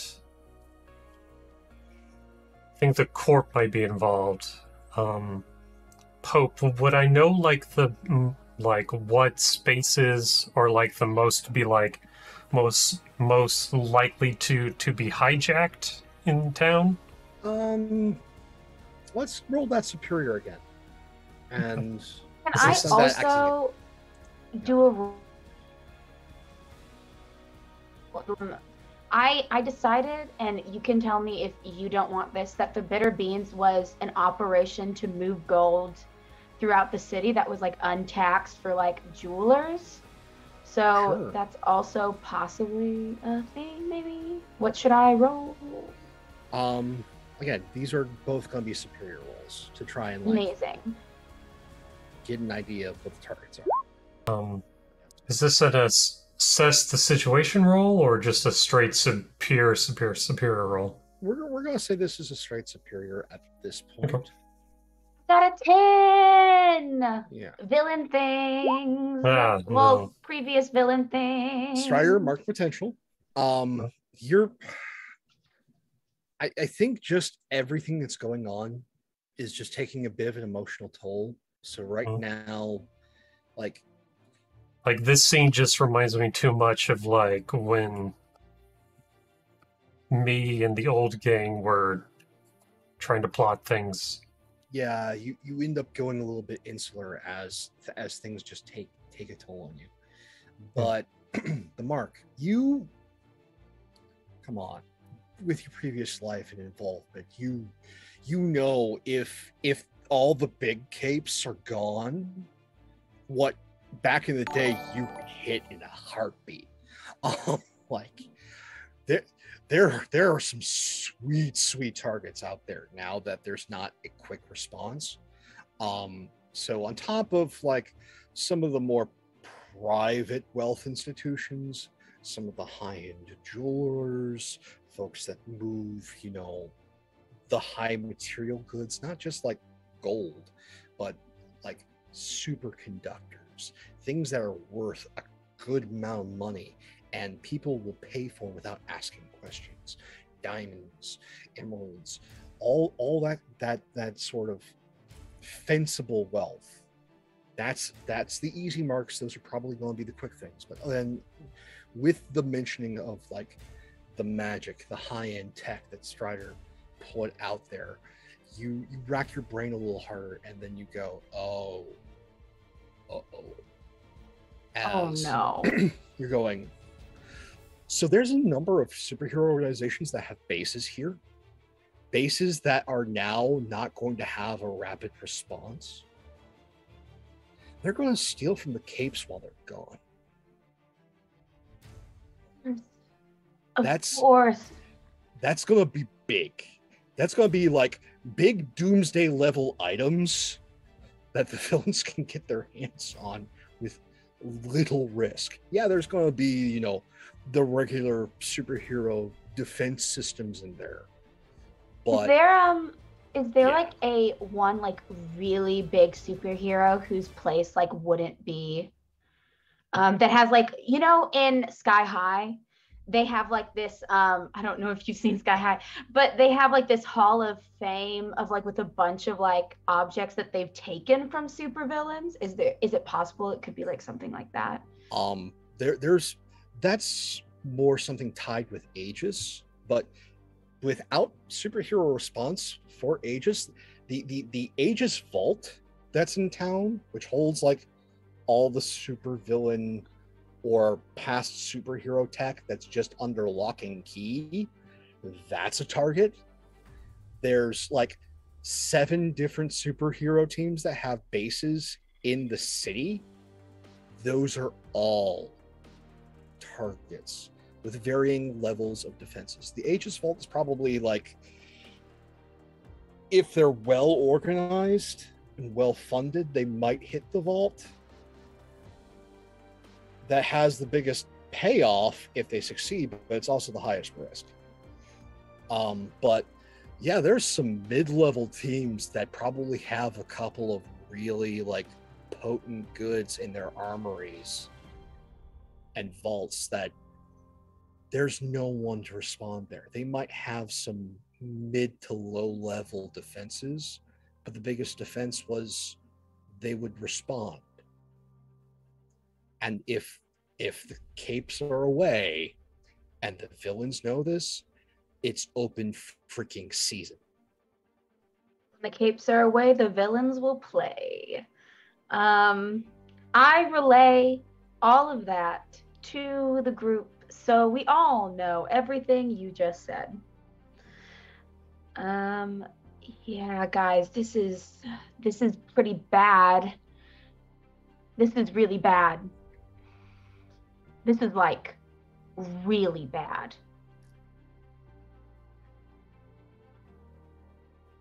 So what are we thinking, folks? Where are we going?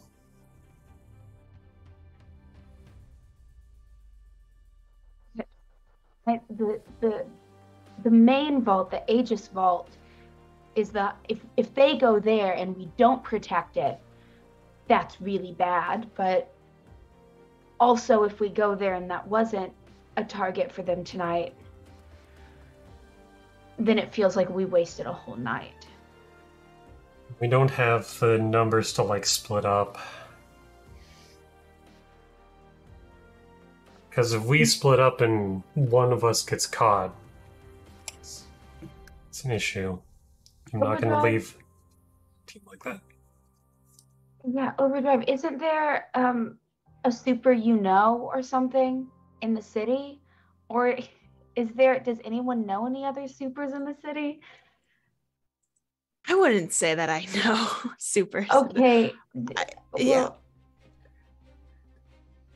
I have somebody I could give a call, but I don't know if the phone works anymore for it. I, I could yeah like I could t- text but I don't know if I don't know like, you're kind of on a we're not really on a first name basis you know so If their plan is to steal something, and they've already chosen their targets, there may be someone I may be able to figure out where they're going. And um I would like to separate from the group. I'm like, hey, I'll be right back. I'm gonna try to get some information. And then I think I'm probably gonna contact. Oh, well, either Lovelace or Geoffrey. Um, because those are the two people who I imagine would probably know about what the those are my two connections that I imagine would probably know the most about this. Um, Ooh, I didn't know I was going to be doing this episode one. Thought I'd be playing it safer. no, not happening. Um, well, I don't know. Geoffrey feels incompetent to me. I don't know why. Um, so I'll probably try to contact Lovelace and ask if um, she knows where they're hitting tonight, um, since she's an intel person. You reach out to Lovelace.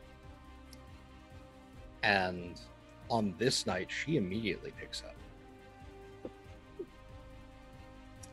Well, hello. So, what can I do for you, Mark? Hey, Lovelace. Um, we have a, let's call it an intuition that some um, superhero vaults, some cape vaults might get hit tonight while they're out of town. And it would be really helpful to know which ones exactly are being hit. Oh. Well, I can definitely get you a list. However, Yes. Since you're going to be out and about protecting these places, um, a few things could just go missing in the fight. Uh, and yeah, with that, I could definitely let you have that list. Okay. A few things will go missing. And I'll leave them in our usual spot. That sounds fantastic. So, there's nothing being hit tonight.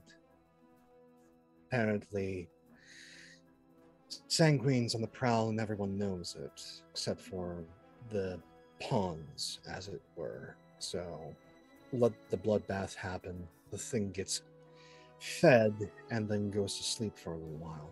At least that seems to be the plan from the higher elves. Um, but the thing that you should be most concerned about is word has it safe and sound are going to try and hit up the House of Secrets.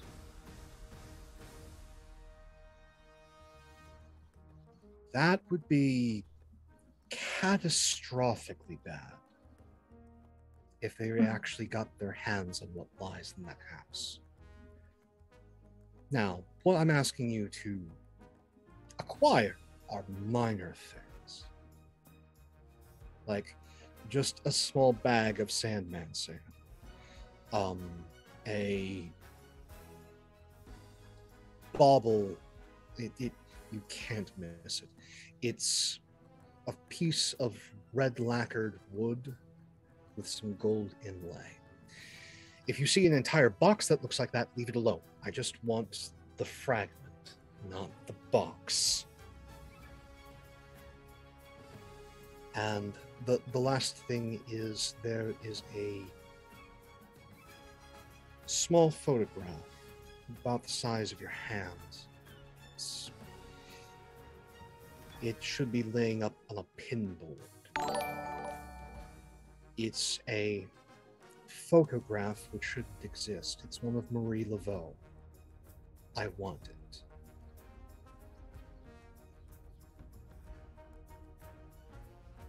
Don't suppose you're willing to tell me what you plan to do with these items? This is excellent trade in my trade.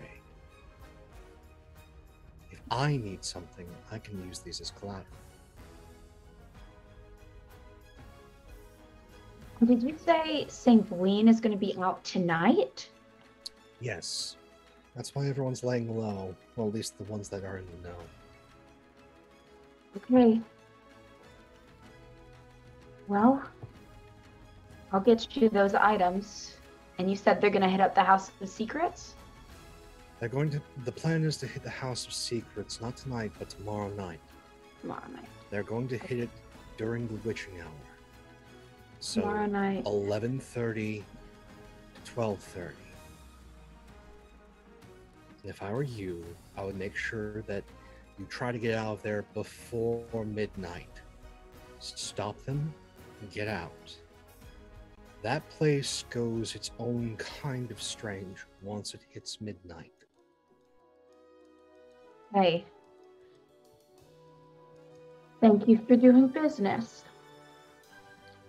Always. And, then Holly I just hang up. yes, we click. I go to everybody. I go back.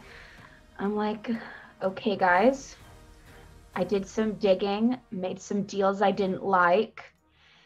And one, does anyone know Sanguine? Does do we all know who that is? I have There a move for this. You have a move for this. Been reading the files. Roll it. Sorry, let me just do this real quick. So, we do no situational bonus. It's a hit. So, It's a hit. Okay. Mhm. On been reading the files.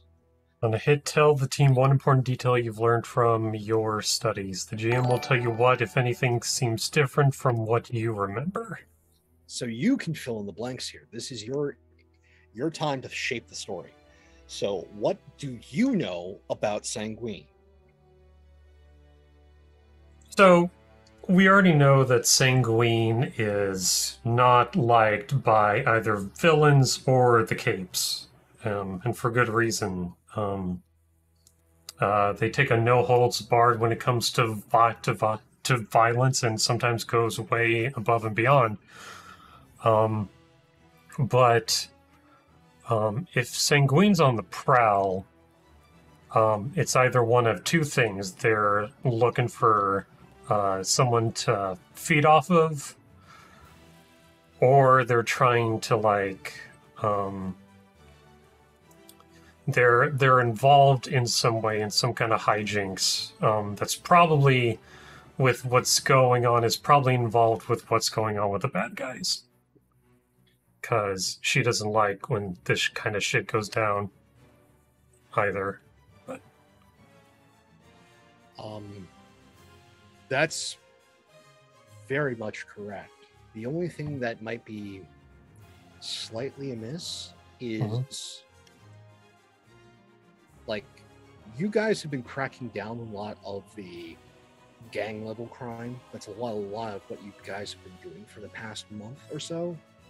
So the gangs have been relatively quiet. And that's like her preferred prey. Mhm. So if she's on the prowl tonight, she's going after bigger fish. And she usually doesn't do that because the capes are upset about that. But given that what you know about the capes, Sanguine may be moving up the food chain. Some villains may not make it through the night. Probably going like to see a couple of dead corpses in the news tomorrow. We're not gonna try to stop. We're not gonna try to stop them. I mean, I am. I'm going to go out there and see if I can stop it because I don't like how she she does things. But I'm going to let y'all know right now, she's not one to hold back. Well, I would never expect an opponent to hold back. If anything, I think I'd be offended. Yeah. So, guess we're on a vampire hunt tonight, everyone. I pull out, I'm like, hey, my arrows are made out of wood. Oh, very nice. Very nice. Loki, So, you got a few tricks up your sleeve? I've I've got some fun things I could play with. It's been a while since I've had a mark. Let's go. I always liked hunting. I put on like these like like gauntlets. They're they're not big. They're more like the thing cap in uh Infin- Infin- Infinity War when he duh, duh he duh he duh, he doesn't have ha- have his shield, and it just kind of go like I like bring my arm back and it goes like. All right, let's get to work. As you head out into the night, Overdrive, are you going with them? I mean, yeah. Kind of have to. Okay. I'm glad you're here, buddy. We really need you. Thanks, man. really, Drive really it feel part of the team. It's not like, yeah. I'm sure you're okay. Yeah. I, you're. Thanks for the. uh Nope, not even gonna say it. I give Overdrive like a pat on the back that is like accidentally a little bit too strong. I'm trying to like stumbles just a little bit. He's like, oh, okay. Oh, got me there. So, our heroes go out into the night, stalking after a vampire who is on the hunt. And we turn the page. And we see um, Crying Clown, a Oh no. mid level supervillain who who has a gang. Um, they they have Do they all come out of a small car? oh no no no this is an operatic clown. Um It just gets worse. oh yeah um real piece of work. Uh, likes knives, really likes knives. Um, uh, but always ends up for some reason crying when he's committing violence. It's a weird thing. Um, Like he's cutting onions. but like always has at least one of his henchmen holding a boombox playing opera. Um, everything is very well staged. Like uses a lot of um, failed Broadway dancers as part of his henchman core group. Um, he knows how to recruit. Um, but you, we see him in this this downtown high rise running as as many of his goons are just screaming in blood in terror and then it's gurgling noises as lights are going out. Like he is just stay barely staying in the light as one after one of his henchmen just disappear. And then we just have this entire black page inky black page except for two red eyes.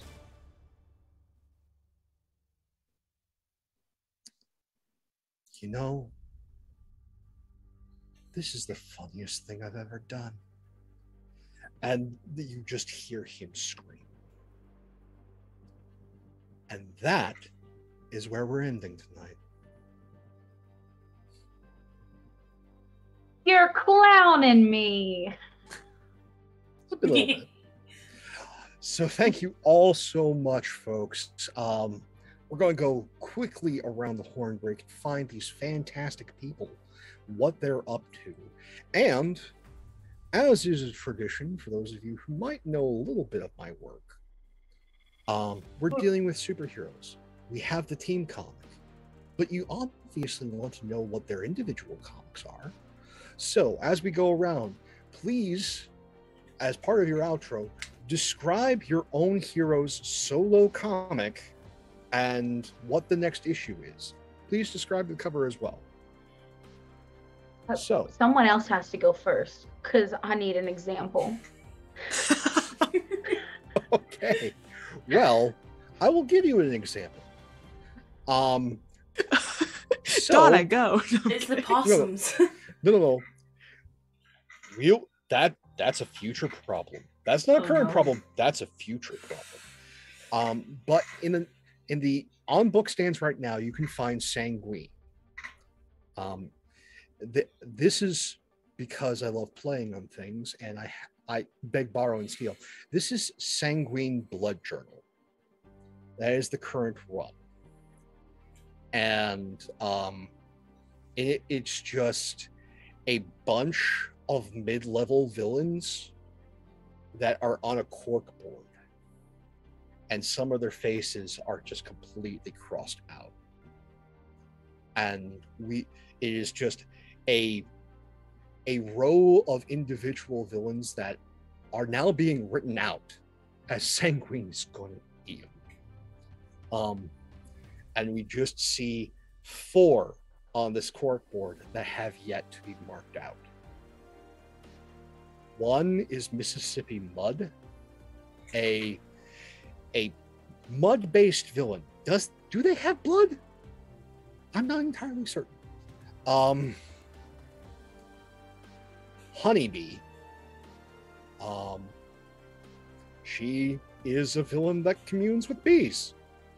It's really that simple, terrifying, and simple. I like they gather around her and make her fly. It's it's a thing. Uh, there is Gorilla Ice, a enhanced gorilla that has Iceman level ice powers. Um, he hates capitalists, but he loves relaxing on a couch and watching TV. So he's more of a low level villain that just like knocks over banks and stuff. He's very much a punch clock villain in that he could do super villainy, like really high level stuff, but then you get punched by people like Superman, and that's a bad time. So he keeps to low level villainy, so he doesn't have to work as hard. Um,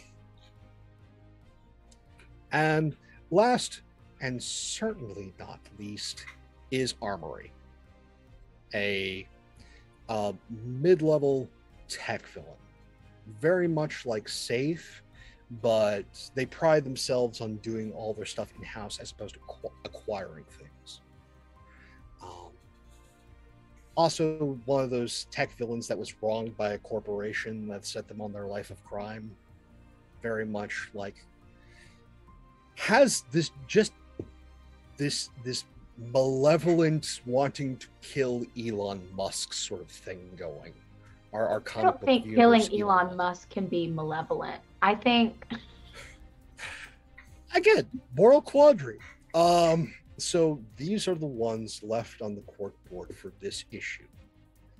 And that's what the issue follows is the sanguine over the course of this evening just burning through these villains their henchmen and eating as many of them as she can.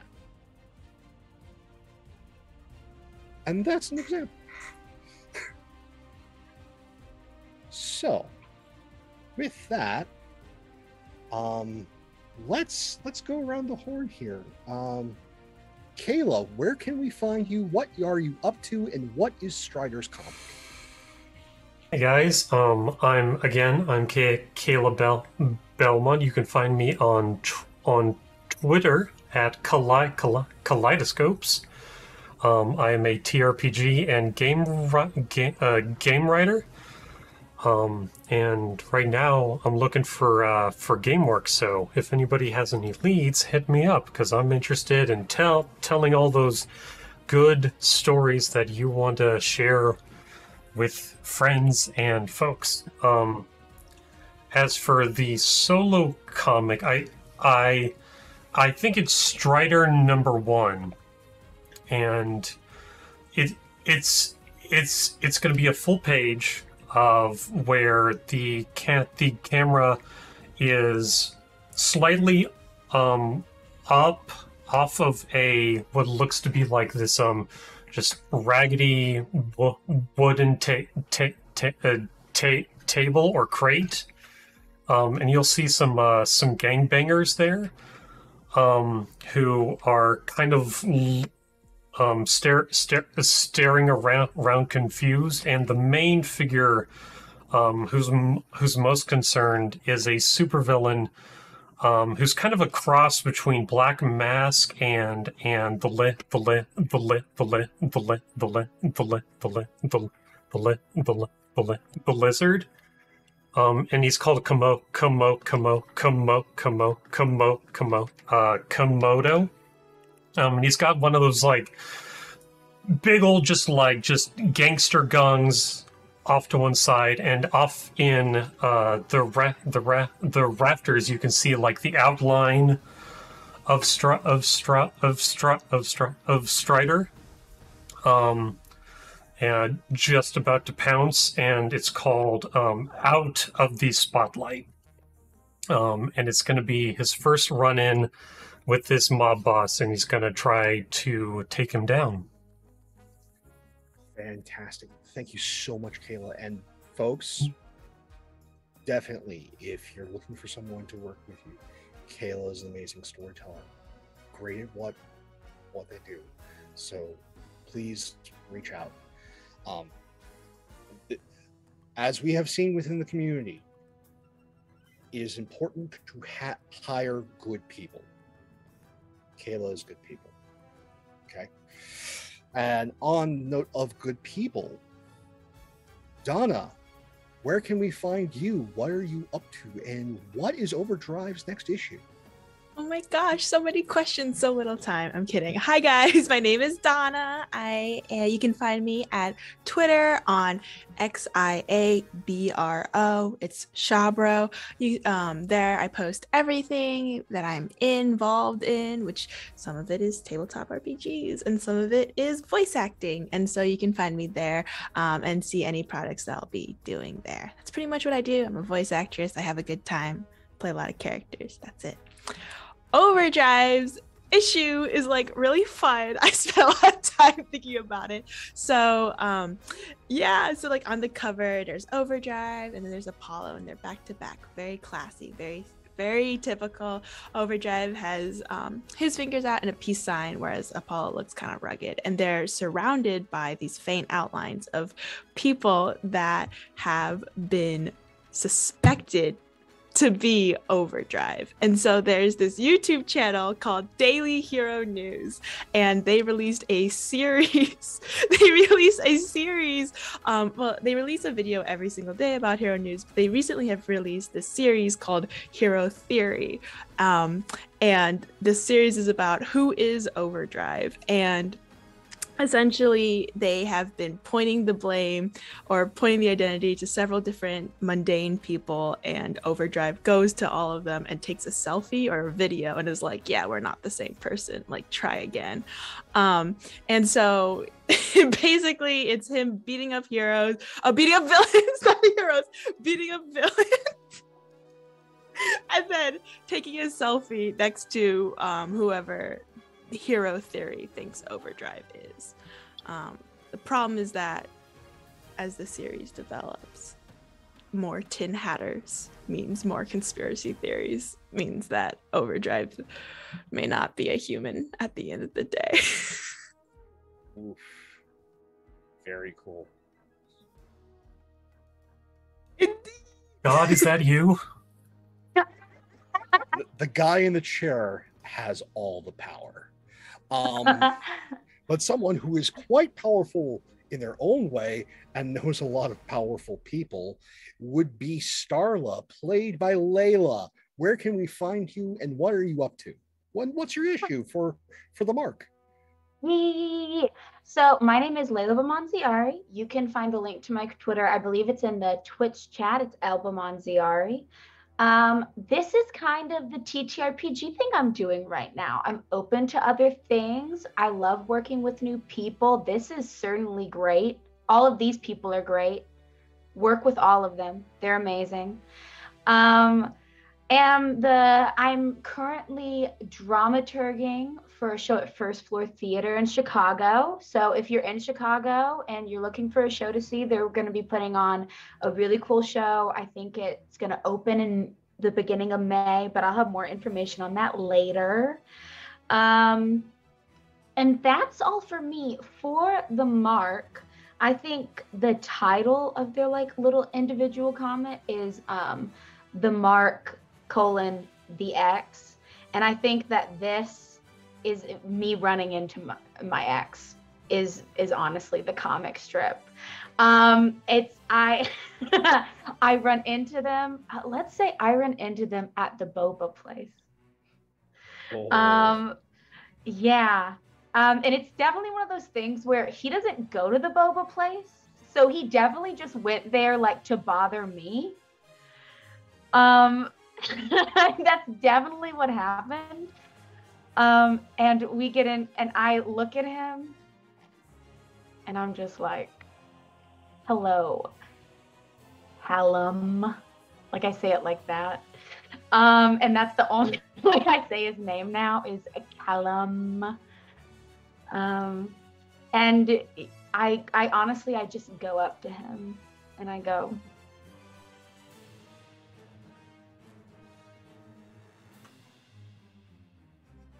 stay out of my way. Except I don't laugh. Stay out of my way and stay out of my boba. This is none of your boba business. And then I get my two cups of saffron boba, one of which I later give to Saskia, and I leave. That is amazing. I love this. You guys need to pick up these comics. Um, someone who has all the chaos all the time is Faye. Where can we find you? What are you up to? And what's Loki's comic? Uh, hi, I'm Faye. You can find me at Almost Faye on the three T's of the internet. AJ, can't argue with me. I you stole that. Uh, which is Twitter, Twitch, and TikTok. Um, I have recently. I'm just coming back from taking a break from uh, Twitch. Three T's of the internet. You're wrong. You're objectively wrong, and you stole it. This is a this is a long ra- ra- I can't speak anymore. A long-standing rivalry between myself and AJ. Um, and yeah, so you can find me here. I might be making a return to my own Twitch channel. Who knows? Um, if you like cosplays, I cosplay over on TikTok. And other than that, I don't really know what I'm doing other than causing chaos. I don't think you're. Are you older? So, Sorry, AJ is distracting me. Um, and Loki's comic is. There are two inspirations for this. I, I'm imagining it is a new series that's just started for Loki and Saskia, and it is somewhere of a cross between Multiverse of Madness and Ferris Bueller's Day Off. Combine Concern. them. Combine them.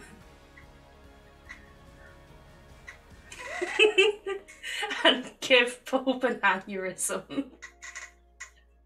Sausage King of the Cosmos. That's that's getting a little too close to sausage party. Oh. I like to party. um, and if anybody ever wants just like a shit ton of chaos in a game, hit me up. I'm here for it. Uh, th- I I can definitely attest to the chaos. Uh, and You were warned. I was I was warned and well informed, but there it is one thing to be forewarned; it's another thing to experience. and now I have. Um, Like and I the probably the difference between watching Emily Axford play D and D and then having to DM for Emily Axford playing D and D. I would adore being at the same table as Emily Axford. Oh yes, for sure. Yes, no, there there's another thing like these people are amazing. Have them in your games, hire them for your stuff. Again, if there's nothing else that we have learned over the the past few years now, as these stairs and pandemic, um, it's the importance of having good people in your life and cutting out the toxic. And these are good people. Um, as for me, Hi, I'm Pope, Pope World Bill on Twitter, Pope World Bill on Twitch. I lurk in all your streams. Um, if you want to see more of my ridiculous face, there are a number of opportunities throughout the week. Coming up next is this Saturday over on Valdrian's channel, uh, where we return with another episode of Defiant, the, t- the Trail of the Dead. Um, so, yeah, it's the apocalypse. Things are not going incredibly well, even though we're in a pocket of reality that should be stable. Um, but uh, yeah, there's a giant flaming tree in the park, and all of the mortals are just randomly singing Firebird. Um, so that's a problem that um, the Defiant are going to try and solve. So if you want to see me play a reformed devil trying to save a city, tune in for that 9 p.m. Eastern, Valdrian on Twitch. Uh, then on Sundays over on Weave the Tale, it's time for good doggos. Um, if you enjoy my ST style and want to see something kind of family friendly, uh, tune in 3 p.m. Eastern Weave the Tale as we play some Pugmire, What Lies Buried. Um, another great cast. Uh, they're just coming out of running into Fey Trouble um, and they all play incredibly good dogs. It is a wonderful time and a delightful system that uses the 5e engine, but also acknowledges that levels 11 to 20 don't exist. Um, and so they don't. So you get to see something that is truly beautiful and unique on the mechanic side, but also just a like if you loved Redwall or a lot of those anthropomorphic style um, shows from back in the day, grew up with them. Pugmire is all that. So definitely come on by. We'd love to have you. 3 p.m. Eastern Weave. Then on Monday nights, see me as a player in Symbaroum Stories, 8:30 p.m. Eastern, also on Weave. Um, yeah, that is something completely different. Come and see me play a very conflicted priest uh, in a dark and terrible world inspired by uh, Nordic myths. And we're gonna die. We're gonna die terribly. It, it we're we're in a small little like, not even a fort. It's more like a a fenced off inn, and there's a bunch of very angry goblins outside. They have magic, and we're all doomed. We're doomed. So tune in for that on Monday, and then Wednesdays something completely different. Um, 2 p.m. over on Follow Black Cats. Join us for the spy game Hexcrawl. If you want to see me play the most villainous character that I have ever had the privilege to bring to screen, please tune in as I play Chernobog, a spy who has absolutely no moral qualms and is incredibly violent. So, please tune in for that if you want something a little more Bourne inspired, as our disaster spies try to take on capitalism. Um, and with that, come back around here on Thursdays for more Mask Advanced Studies with these great people. And thank you all so much, whether you're watching live, VOD, YouTube, wherever you are. A story is nothing without its audience. You're much part of this as we are. Thank you all so much. Take care of yourselves and take care of each other. Love you all. See you soon. Take care.